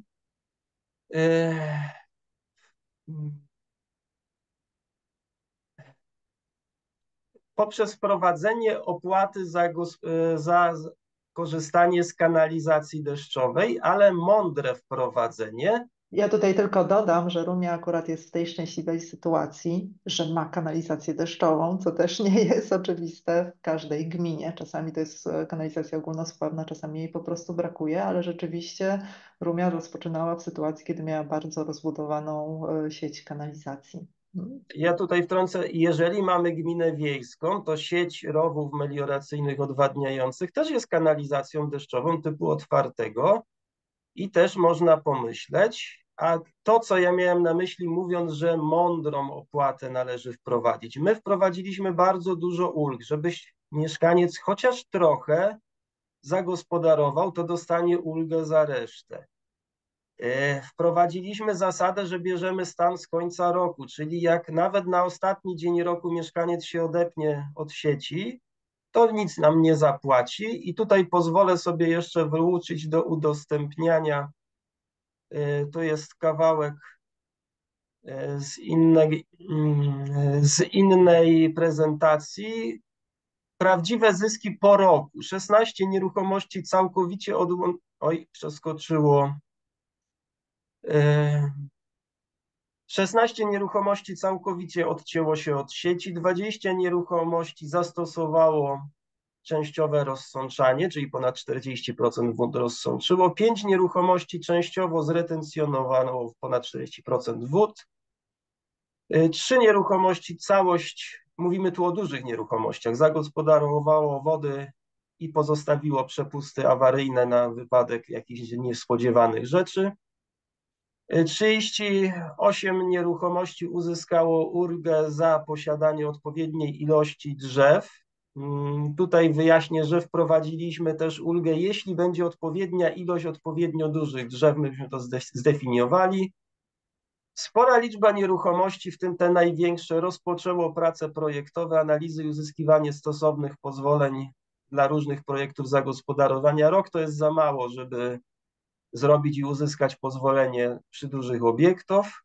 No i skokowo wzrosła świadomość naszych mieszkańców. To są e, prawdziwe zyski. Oczywiście można by mówić, e, e, ile nas to kosztowało wprowadzenie. Sporo kosztowało, bo są dwa etaty, bardzo dużo papierologii, ponad 4, prawie 5 tysięcy opłat, są to duże koszty administracyjne, które w praktyce zjadają pieniądze, które z tego wpływają, ale w domyśle pozyskane środki mają służyć y, kanalizacji, retencji, budowaniu nowych obiektów.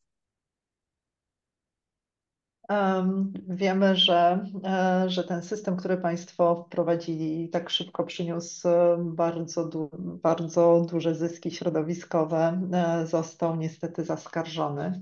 E, nie wiem, czy Pan już to mówił na początku, jeżeli tak, to mi to umknęło. W tej chwili uchwała jest zawieszona, firma netto zaskarżyła, przegraliśmy w sądzie wojewódzkim, no już na koniec listopada mamy wyznaczony termin e, w NSA. Podobnym w przypadku było już orzeczenie NSA, które uchyliło dla miasta Opola orzeczenie Wojewódzkiego Sądu Administracyjnego w Opolu, a było to orzeczenie w całości oparte o przypadek nasz e, z Rumi. Więc spodziewamy się, że nasze też, e, nasz wyrok też będzie podobny i się okaże, że jednak możemy to robić. Tutaj też należy zasygnalizować, że w tej chwili są intensywne prace nad zmianą prawa wodnego, gdzie krótko mówiąc ma być zapis wprost, że gminy mogą taką opłatę pobierać. Jest też wersja jeszcze, że muszą ją pobierać, ale to zobaczymy, co uchwali Sejm. Trzymamy kciuki za to, bo tak jak kiedyś już rozmawialiśmy, powiedział Pan, że prowadziliście różne akcje e, zachęcające mieszkańców do retencjonowania wody, akcje edukacyjne i żadna nie odniosła tak dobrego skutku jak wprowadzenie opłaty i systemu ulg do niej, bo dopiero wtedy tak naprawdę każdy zrozumiał, że to jest coś, co jego dotyczy. Może spowodować, że będzie musiał wnieść opłatę, ale może też jej uniknąć w bardzo czasami nieskomplikowany sposób, tak jak Pan pokazywał, chociażby spuszczenie wody bezpośrednio na teren zieleni e, zamiast do kanalizacji.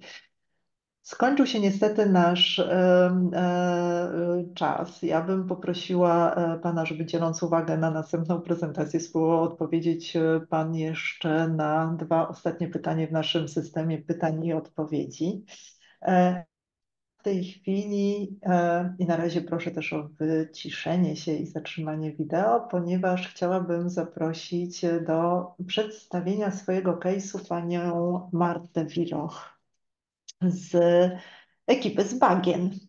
E, poprosiliśmy ekipę z Bagien o to, żeby zaprezentowała swój case i za chwileczkę poprosimy zarówno pana Pawła Dąbrowskiego, jak e, i Iwonę Wagner, żeby się zmierzyli i zastanowili, w jaki sposób, w jaki sposób możecie lepiej prowadzić swoje działania, żeby osiągnąć cel, który sobie założyliśmy. E, Marto, bardzo proszę, ekran należy do ciebie. Dziękuję bardzo. Przede wszystkim dzień dobry. Na wstępie w imieniu całej naszej ekipy bardzo serdecznie dziękujemy Fundacji Sędziemira za zaproszenie do tego projektu, bo to dla nas no, ogromne wyróżnienie.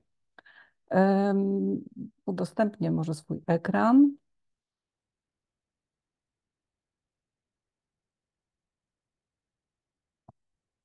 Tak i mm, rozpoczynając to, chciałabym najpierw Państwu przybliżyć e, nasze miasto. Ym, Tak więc Ostruda jest e, 30-tysięcznym e, miastem położonym pośród pięciu jezior. Przepraszam, coś. Muszę jeszcze raz udostępnić.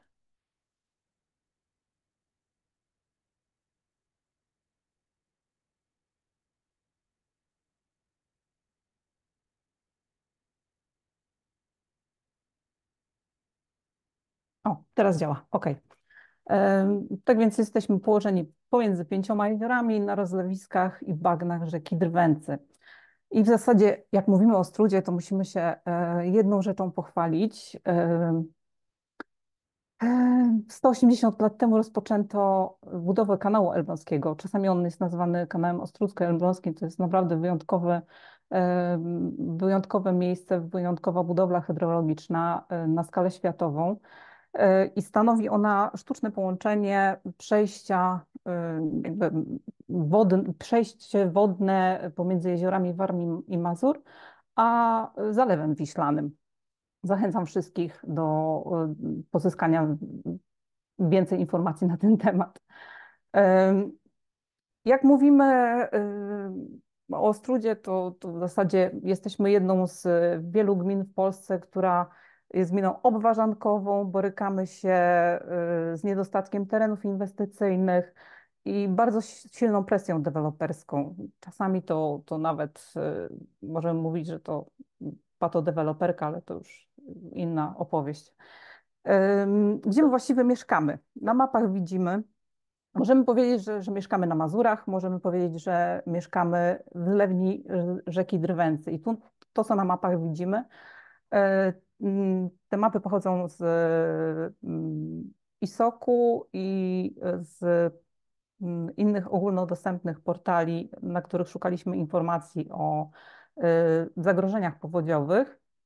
I y, w zasadzie y, mapy wskazują nam, gdzie te zagrożenia powodziowe występują w, w obszarze naszego miasta, ale wskazują nam też tutaj ta dolna mapa, że mamy generalnie suszę. Są tereny silnie zagrożone suszą. A jak spojrzymy jeszcze na naszą e, rzekę Drwęce, to mamy ostrzeżenie od czerwca tego roku, że w zasadzie występuje susza hydrologiczna non-stop. I jak sobie tak e, porównamy z tym, co dzieje się na południu Polski, to, trochę jednak e, nie napawa to optymizmem. Tak? Tam są notoryczne yy, zagrożenia powodziowe na bardzo dużą skalę, a u nas yy, ciągle susza. I nawet yy, na starych mapach Ostrudy możemy jakby odnaleźć tereny zaznaczone, gdzie to zagrożenie powodziowe występuje i w jakim kierunku powinna kształtować się zabudowa.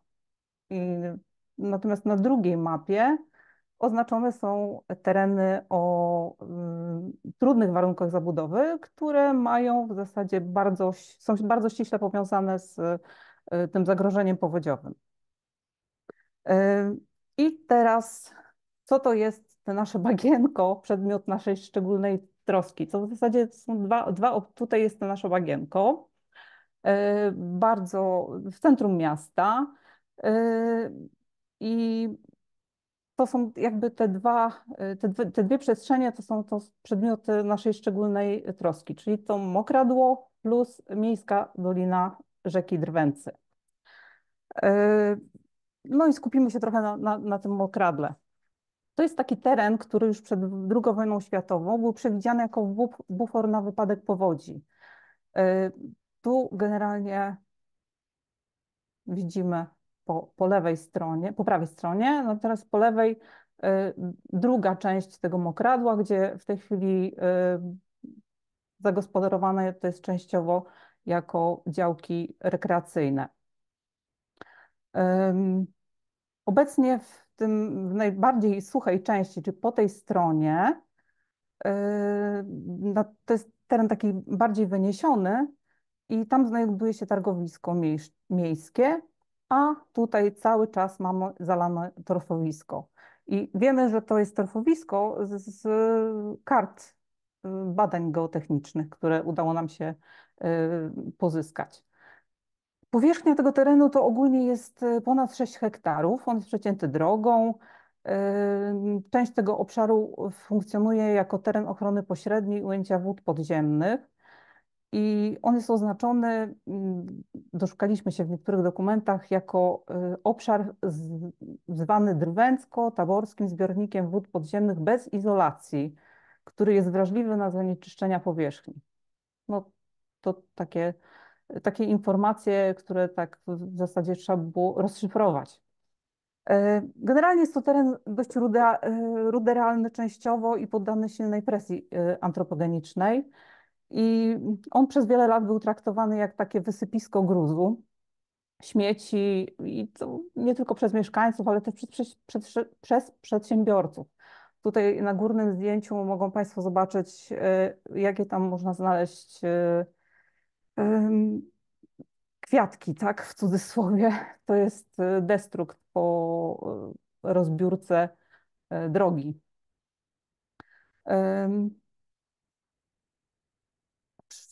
Co tam się jeszcze dzieje na tym terenie, o czym e, możemy powiedzieć? No to e, zda zdarzają się obozowiska osób e, w kryzysie bezdomności, no ale jak widzimy na dolnym zdjęciu, to przede wszystkim Centrum Spotkań Entuzjastów Napojów Wyskokowych.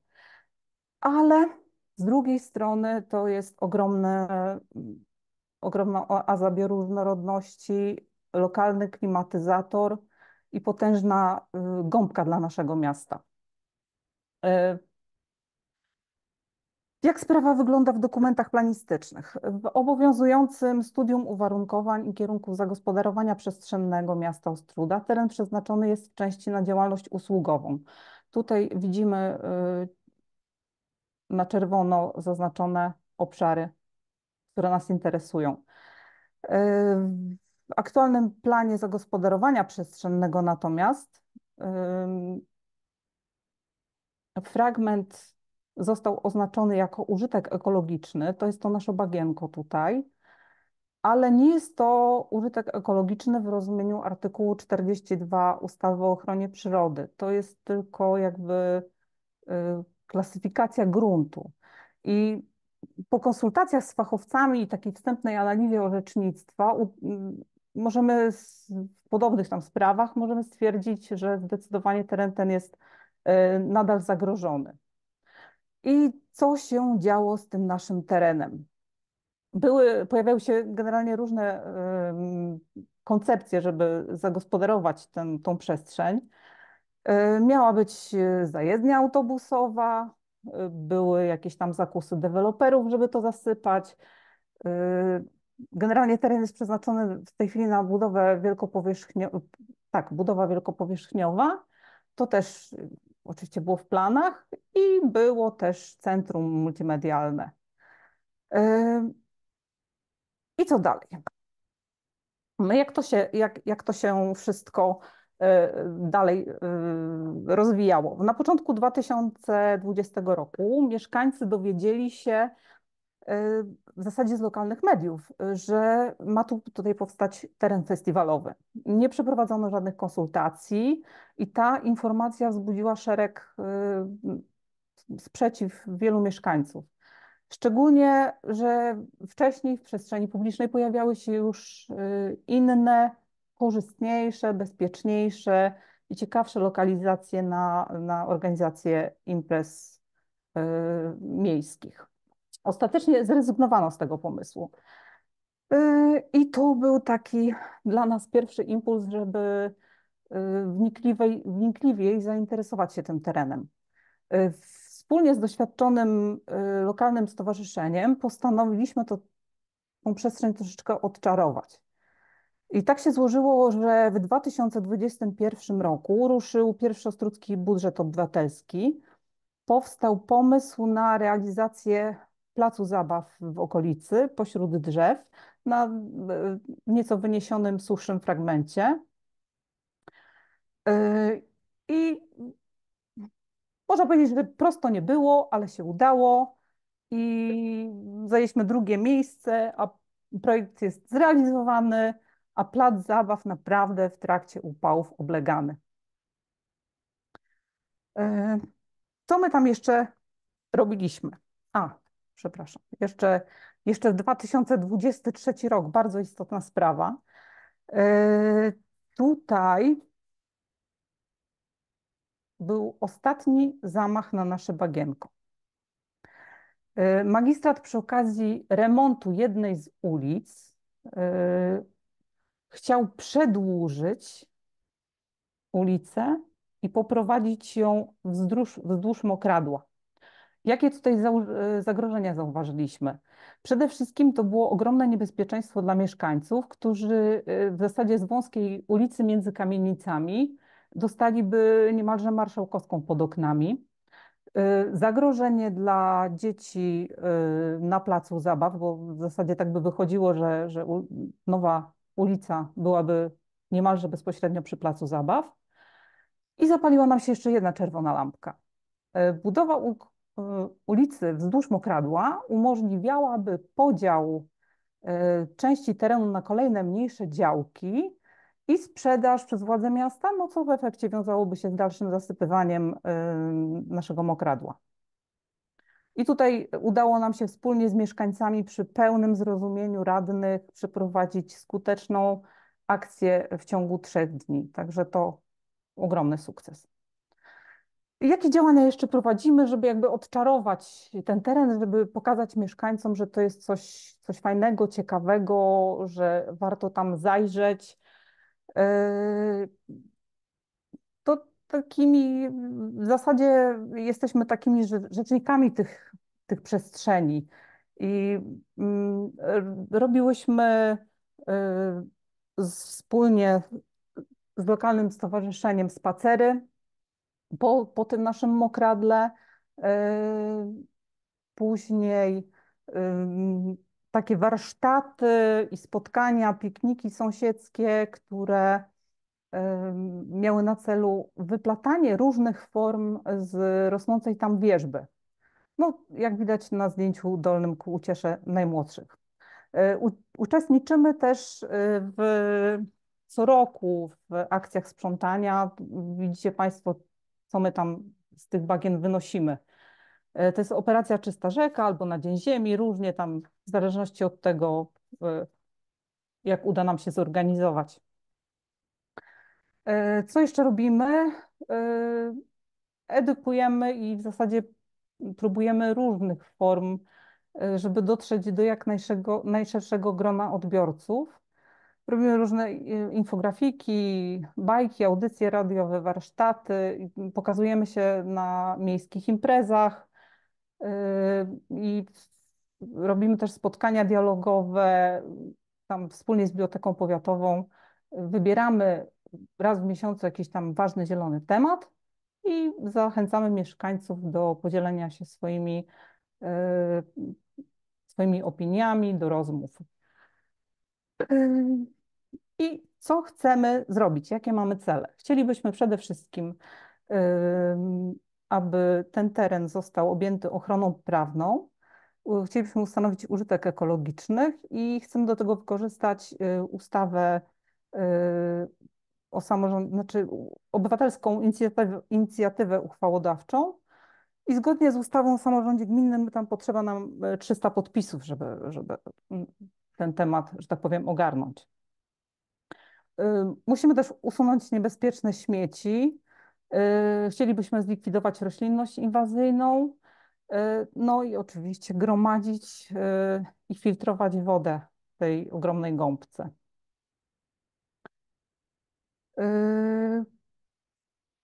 Takie są nasze marzenia w zasadzie.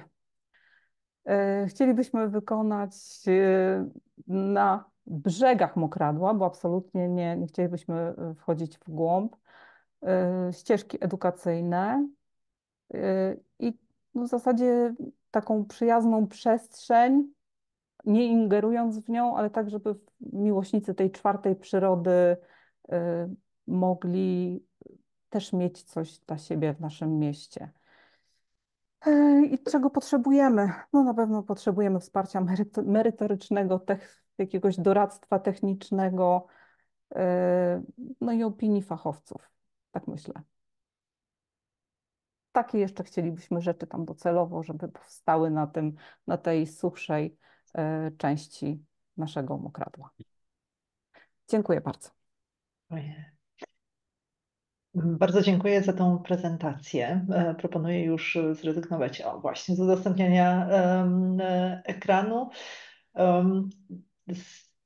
Jak sobie wcześniej troszeczkę mówiliśmy o tym case'ie, to mówiliśmy, że no nie w każdym mieście jest taki bagienny teren w jego centrum, natomiast problem rzeczywiście presji urbanizacyjnej na każdy skrawek terenu, jaki w mieście został, resztki dolin rzecznych, niewielkie skwery, parki, nieużytki, były pola, czy właśnie te, tego typu tereny są dosyć powszechnym problemem i często ta chęć, powiem, uzyskania szybkiego zysku niestety e, przeważa nad kwestiami środowiskowymi. Także fantastycznie, że podjęliście się e, chęci ochrony e, tej przestrzeni. Ja poproszę Iwonę Wagner i Pawła Dąbrowskiego, naszych ekspertów, prelegentów, żeby włączyli swoje, swoje mikrofony i wideo.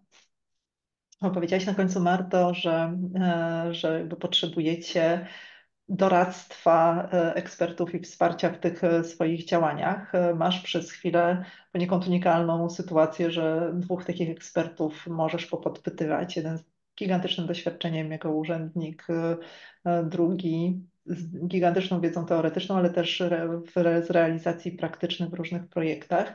Więc e, czy masz konkretne pytania, a może Iwano i Panie Pawle macie wy pytania jeszcze do Marty, doprecyzowujące problem, czy te, te pomysły, które tutaj zostały zaprezentowane? Zapytałam wszystkich naraz, więc teraz mamy trudność, bo ktoś musi, ktoś musi zacząć. To może ja zacznę, jeśli mogę, bo w ogóle no przede wszystkim chciałabym pogratulować tej inicjatywy, ponieważ ja obserwuję ją od kilku lat i determinacja w realizowaniu tego przedsięwzięcia jest ogromna i widać jej skutki i, i ciągły rozwój, więc to jest w ogóle no, niesamowita rzecz. I to pokazuje też trochę to, o czym mówiłam, że determinacja od dołu czasami przynosi lepsze i szybsze efekty niż regulacje prawne od góry, które są, no, mają, mają duże opóźnienie czasie.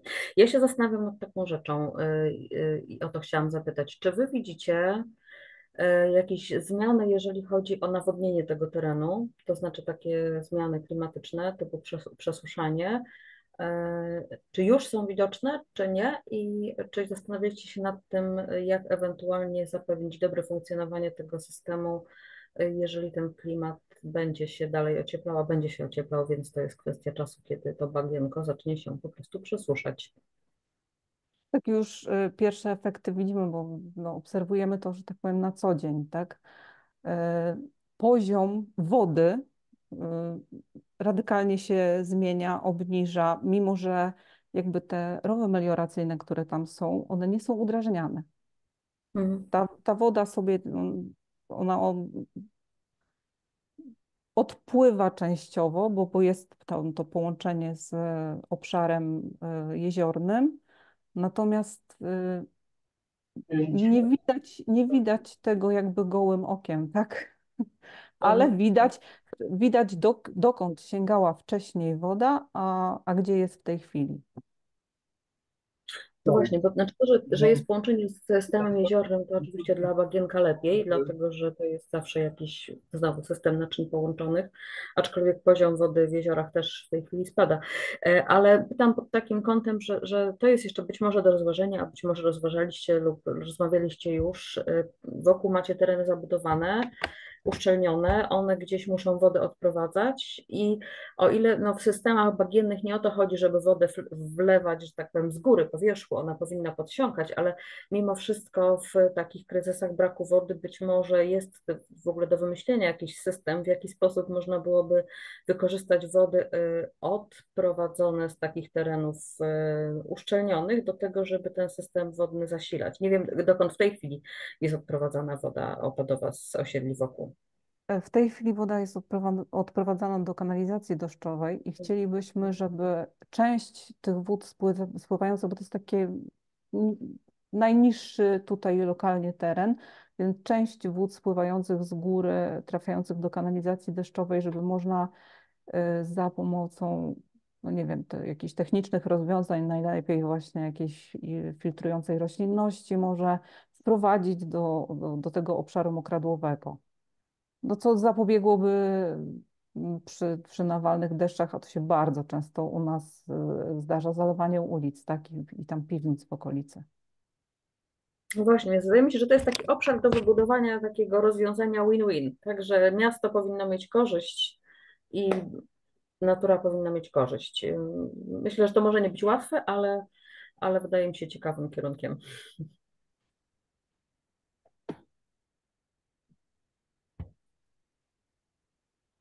A gdzie na dzisiaj trafiają te wody z tej kanalizacji deszczowej? Do oczyszczalni. Z tego, co się orientujemy. Z kanalizacji deszczowej do oczyszczalni? To jest ogólnospławna kanalizacja? Nie, nie. Nie, to, jest, to są jakieś jakby zbiorniki, e, ale to wynika tylko z, z danych, które jakby od, może, mogliśmy sobie wyszukać. Jeszcze o to nie, nie pytaliśmy. Nie do kanalizacji, gdzie jest y, taka tak jakby sanitarna kanalizacja, tak? Tylko oddzielne, oddzielne. Czyli kanalizacja deszczowa ta z rzeczy samej nie trafia do oczyszczalni, więc należałoby zinwentaryzować te sieci i zobaczyć, bo podejrzewam, że ta woda i tak może do tych mokradeł trafiać, tylko o tym nie wiecie. Aha, okej. Okay. Czyli y, gdzie my mamy jakby dowiedzieć się y, tak naprawdę, żeby być pewnym, jak te wody się, y, jak te wody się tutaj w okolicy rozpływają, gdzie one trafiają? Sprawdzić, czy my powinniśmy wszystkie instytucje dookoła pytać, czy... Sprawdzić, czy wasz powiat udostępnia na zewnątrz mapę uzbrojenia terenu i prześledzić na niej, jeśli udostępnia oczywiście trasę kanalizacji deszczowej a jeśli nie, ustęp, nie udostępnia, no można tego samego poszukać na geoportalu albo na takiej mapie o adresie polska.e-mapa.net. To jest taka usługa zbiorcza, tam jest czasami więcej niż w geoportalu. O. Natomiast jeśli to nic nie da, no można spróbować y, zwrócić się do y, starosty w trybie udostępnienia dostępu do informacji publicznej o przekazanie e, sieci, mapy sieci e, uzbrojenia technicznego w miarę możliwości samej deszczówki, to już na poziomie powiatu każdy ma trochę inaczej to rozwiązane. Ideałem jest, kiedy ta sieć jest sama i wtedy udostępnienie czegoś takiego to jest kilka kliknięć. Dla urzędnika czasami no jest to gorsze, ale może coś odpowiedzą a być może będą się zasłaniali, że to nie jest informacja publiczna, no różnie do tego podchodzą. Mhm. Okej, okay. dobrze, to od tego zaczniemy. No, tak. Myślę, że... Tak, chociaż pytaniem też jest, no bo ekipa z bagien nie jest profesjonalną e, instytucją. Podejrzewam, że też ma ograniczone zasoby do prowadzenia analiz. Tak? Znaczy jest coraz więcej na szczęście e, źródeł e, danych, które, do których można zajrzeć, które można przeanalizować. Natomiast, natomiast no, organizacje społeczne. Ja, ja jeszcze się spytam, jakie to jest miasto dokładnie? Ostruda. Ja już sprawdzam.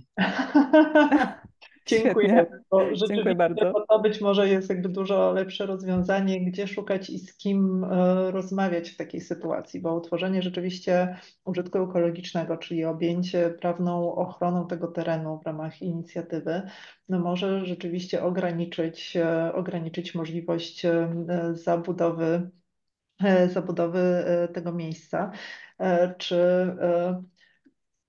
jak dużo osób już udało Wam się zaangażować przedsięwzięcie? Na którym etapie e, tego pomysłu, realizacji tego pomysłu jesteście? Panie Pawle, jak Pan będzie gotowy z pokazaniem nam analizy przepływu wód i sieci, e, jeżeli ona jest, to prosimy się o włączenie oczywiście. Znaczy ja już mogę, ja udostępnię na chwilę ekran. Yy, I tutaj znalazłem, tu jest udostępnij. O, chyba widać, tak. Yy, To jest yy, adres polska.emapa.net i po, moment, ja muszę samą prezentację przesunąć. Yy, Po odpowiednim ustawieniu tutaj warstw, żeby z uzbrojenia było widać tylko kanalizację, jest warstwa, tu jest połączona warstwa sanitarki i deszczówki, no ale KD jest opisana jako KD i można znaleźć sobie na tle miasta, gdzie jest państwa bagienko i prześledzić, czy są tam jakieś wyloty. No ja nie znam tego terenu, więc nie wiem, gdzie dokładnie jest to bagienko, ale państwo na tej mapie pewnie bez trudu sobie y, to z, znajdziecie. Ja jeszcze szybciutko tutaj pokażę, jeśli tutaj w tym uzbrojeniu terenu najedziemy na taką zębate kółeczko y, i uruchomimy tak zwaną informację o usłudze, mamy tutaj, tu jest WMS akurat, adres usługi, który można podpiąć do dowolnego innego oprogramowania gisowskiego i sobie to przeglądać w przyjaznej dla nas formie, o ile oczywiście no macie Państwo kogoś, kto się takimi rzeczami zajmuje. Dziękuję. A czy ja mogę zapytać jeszcze też o adres tego bagienka? To jest pionier, sobie pion, ulica Pionierska, między ulicą Pionierską 11 listopada a Jagiełły dokładnie. Pionierka już. Mhm.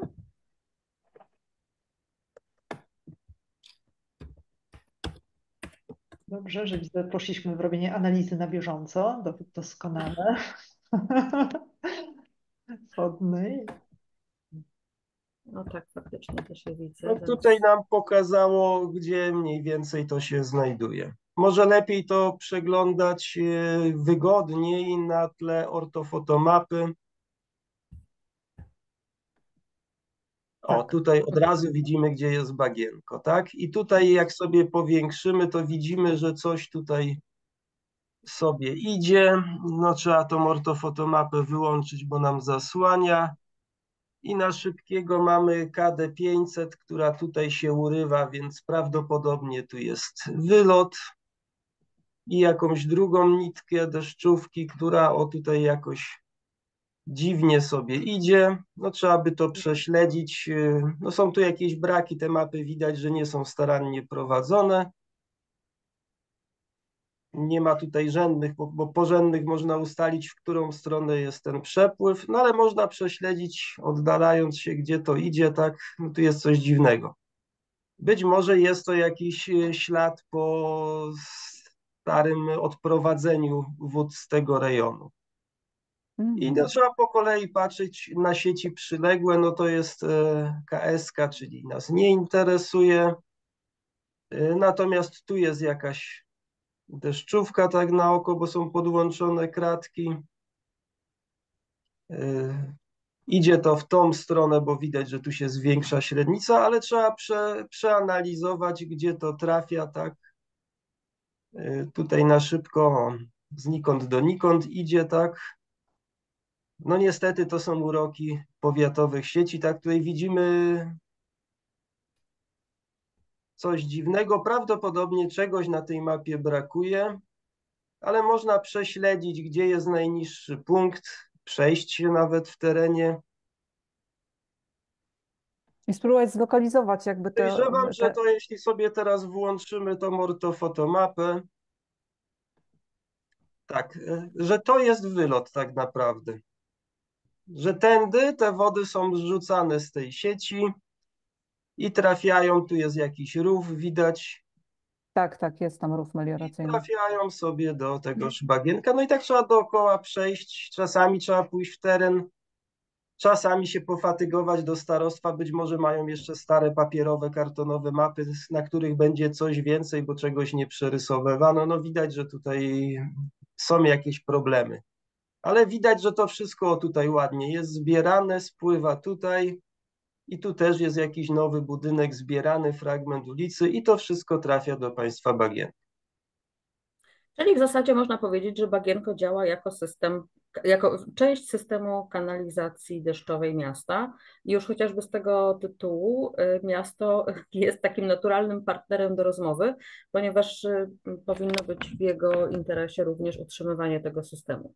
Ponieważ alternatywą dla, dla braku Bagienka byłoby, byłyby inwestycje w szarą infrastrukturę, a to po pierwsze są koszty, a po drugie już w tej chwili nie tak łatwo pozyskać y, środki unijne na tego typu inwestycje natomiast ze względu na koszty, no to one byłyby dużym obciążeniem dla, dla gminy, myślę.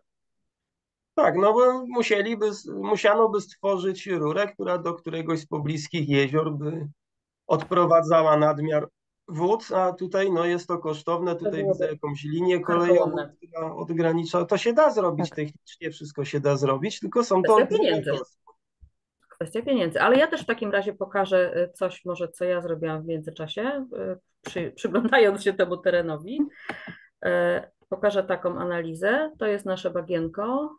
Proszę sobie tutaj odsunę. I teraz tak, to pokazuje ten, to, co tutaj włączyłam, bo to jest bagienko. To, co tutaj pokazuje, to są kierunki spływu wody do tego bagienka, czyli właściwie wszyscy na, wasi nasi naturalni interesariusze, którzy chcieliby odprowadzić wodę, to są te obszary obok. Następnie woda przepływa tutaj, tutaj widzę jakaś droga, bariera, tak? Natomiast tutaj tak, mamy tak. drugie takie bagienko.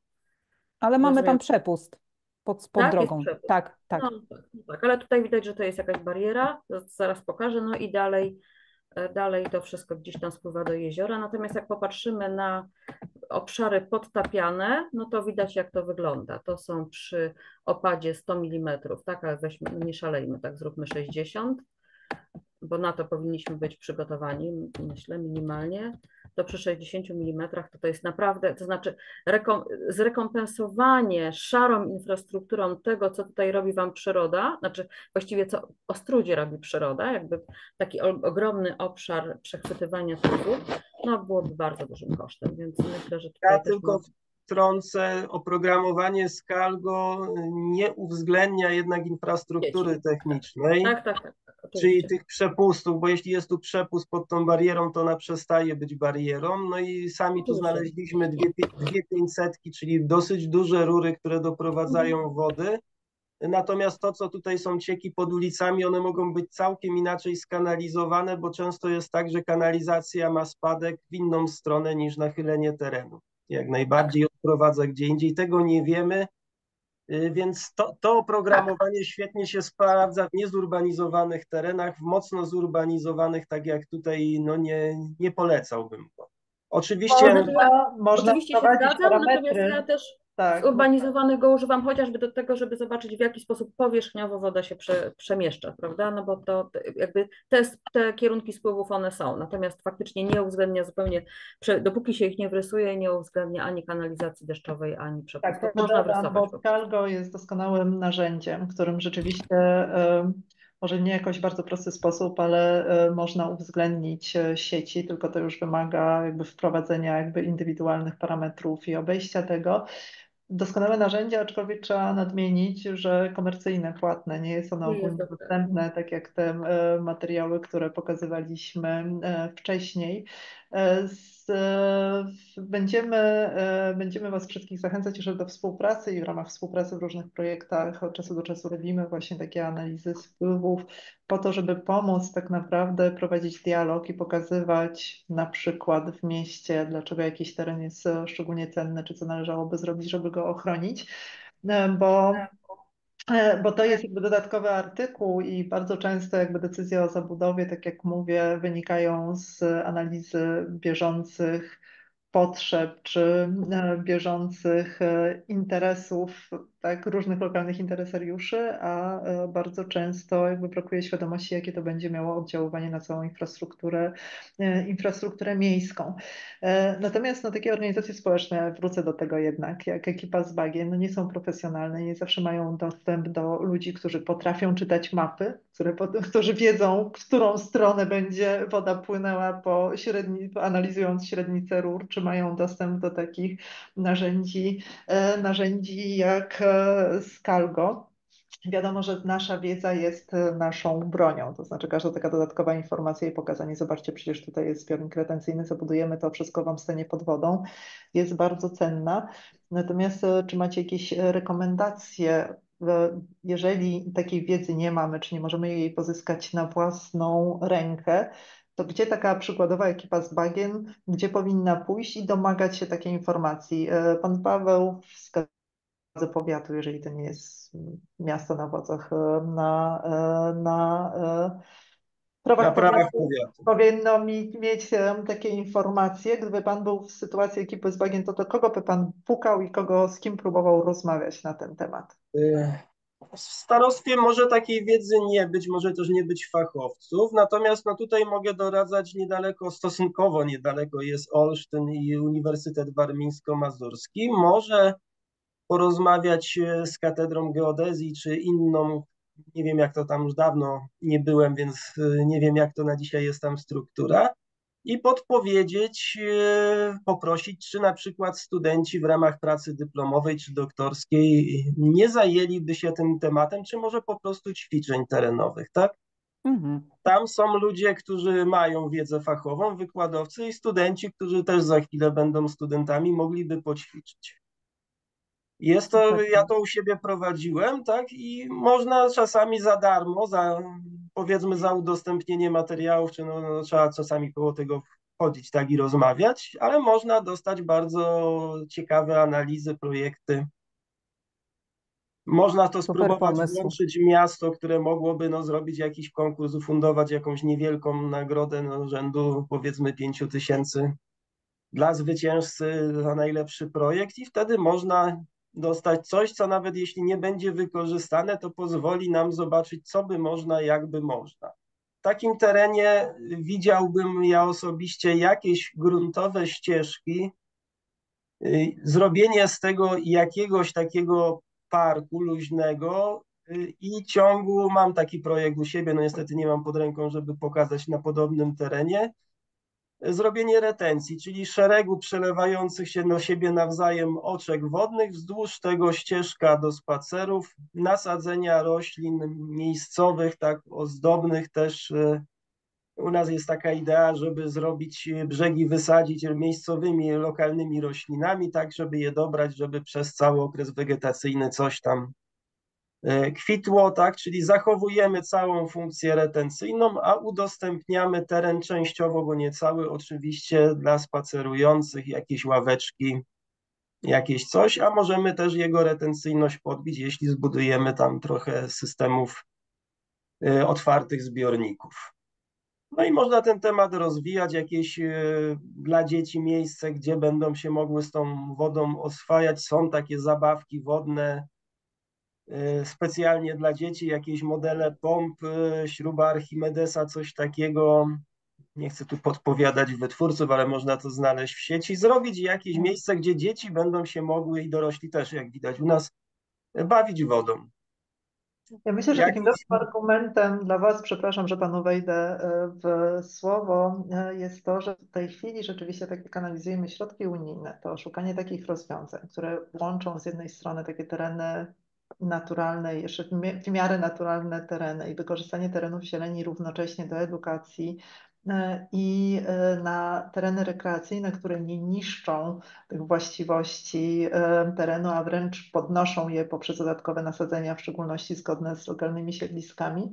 Jest to przepis na to, żeby dostać środki na inwestycje i mieć w centrum miasta może nie teren pod robienie dużych imprez, które już było tak jak e, pokazywaliście, oprotestowane, e, ale równocześnie będące wizytówką miasta. I e, też nasze obserwacje i rozmowy z różnymi podażami pokazują, że otwarcie części takiej przestrzeni, czy nakierowanie ruchu tak, żeby ludzie mieli gdzie pójść, przejść się, coś zrobić, też chroni zwykle takie tereny przed dewastacją, to o czym pokazywaliśmy, znaczy znacznie, znacznie jest mniejszy, znaczy mniej odwagi mają czy lokalni przedsiębiorcy, czy mieszkańcy, żeby zamieniać takie e, tereny w wysypiska śmieci.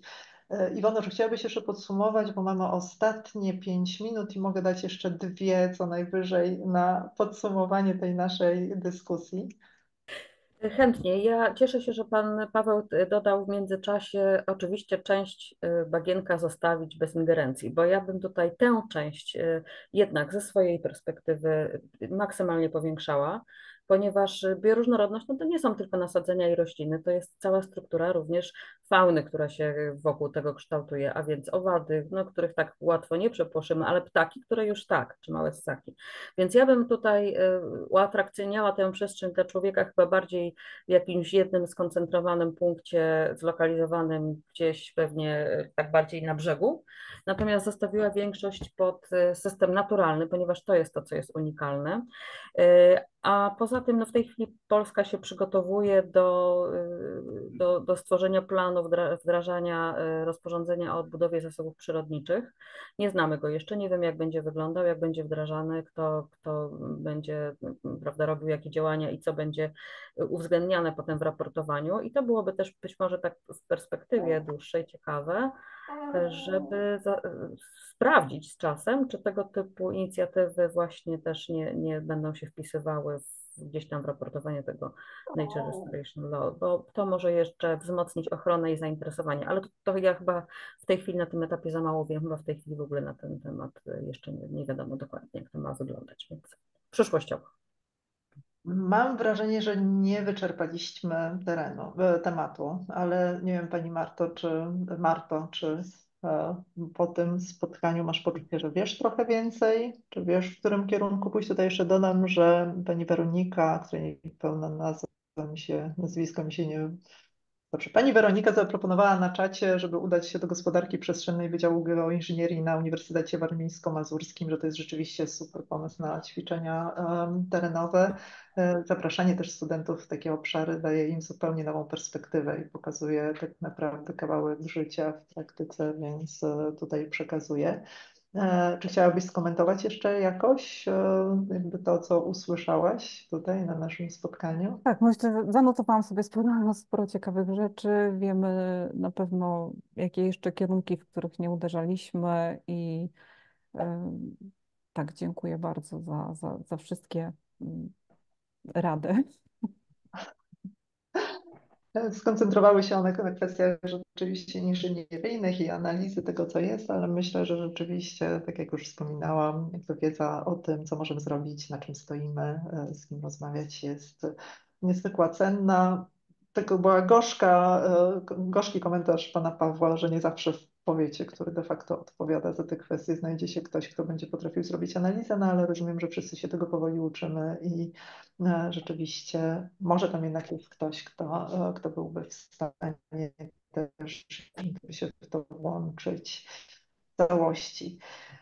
Drodzy Państwo, dwie minuty do końca naszego webinaru. Kończymy na dzisiaj. Dziękujemy e, za uczestnictwo. Dziękujemy za to, że byliście e, dzisiaj z nami. E, webinar, webinar nasz otwiera cykl kilku kolejnych webinarów. Następny, na który chciałabym zaprosić, planowania przestrzennego zaplanowany jest na 5 grudnia 2024 roku. Chcemy go zrobić w podobnej formule, E, to znaczy też zaprosimy gości, którzy opowiedzą nam o różnych e, rzeczach związanych e, z planowaniem przestrzennym, a w szczególności z tym, z czym teraz wszystkie, nad czym większość gmin w Polsce, a powinny wszystkie pracu, pracują, czyli nad planami ogólnymi, czyli co to jest, jak możemy jako mieszkańcy włączyć się w opiniowanie tych dokumentów czy w zgłaszanie uwag do nich, co jest istotne, w jaki sposób one powinny być kształtowane, żeby chronić tereny, takie jak na przykład to przykładowe dzisiejsze bagienko, co możemy zrobić, żeby tereny cenne ze względów przyrodniczych, ze względu na obieg wody w takich planach były objęte takimi formami zagospodarowania, które ograniczą ich e, zabudowę. E, to będzie 5 grudnia, już dzisiaj e, zapraszam. Wcześniej w ramach trochę innych działań, ale też serdecznie Państwa zapraszam, robimy, och, przepraszam, tego nie pokażę. Chciałam cofnąć naszą prezentację. Może przez chwilę przestanę udostępniać. Organizować będziemy, e, organizować e, będziemy webinar poświęcony czwartej e, przyrodzie, ponieważ tutaj na czacie się pojawiło pytanie, w jaki sposób zachęcać zarówno mieszkańców, jak również jak również e, włodarzy miasta do tego, żeby chronić e, czwartą przyrodę, e, więc już dzisiaj Państwa zapraszam na to wydarzenie. Można się na nie zapisać na stronie usługi ekosystemów.pl, Zieleń Miejska. Myślę, że to będzie bardzo ciekawe doświadczenie. Będziemy też prezentować tam między innymi wyniki badań, które pokazują, jak na przykład właśnie wprowadzenie gatunków kwitnących e, na różne tereny. E, wpływa na ich odbiór, jak edukacja, czy patrzą na e, tereny takiej naturalnej sukcesji. 5 grudnia w podobnej formule, jeżeli Państwo macie swój case, chcecie go zaprezentować tak jak dzisiaj, Marta Wilok z ekipy z Bagien, żebyśmy razem z naszymi ekspertami go omówili, to bardzo serdecznie zapraszam do tego wydarzenia. Jeżeli możecie poświęcić nam jeszcze minutę, to bardzo bym prosiła o zeskanowanie tego kodu i odpowiedzenie na krótką ankietę ewaluacyjną dotyczącą tego, jak podobało Wam się dzisiejsze spotkanie, bo chcemy, żeby każde kolejne takie wydarzenie było bardziej dopasowane, lepiej dopasowane do Waszych e, potrzeb. Ankieta zawiera dosłownie kilka, e, kilka pytań, więc e, mam nadzieję, że e, nie sprawi Wam kłopotu na nią, na nią odpowiedzieć. Mm, ja zostawię tą samą, link do tej samej ankiety opublikowaliśmy w tej chwili również na czacie, więc jeżeli nie zdążyliście jeszcze zeskanować, to możemy jeszcze wejść na czat. A ja w tej chwili bardzo dziękuję za dzisiejsze spotkanie, za równo na, na naszych, naszym gościom, e, jak i wszystkim osobom, które bardzo aktywnie e, wzięły udział e, w naszej, zadając pytania, bardzo dociekliwe pytania. Mam nadzieję, że na większość z nich udało nam się udzielić odpowiedzi. Jeżeli nie, zawsze możecie wysłać do nas jeszcze maila i domagać się tychże Dziękuję Państwu bardzo za dzisiejsze spotkanie i do zobaczenia na kolejnym webinarze.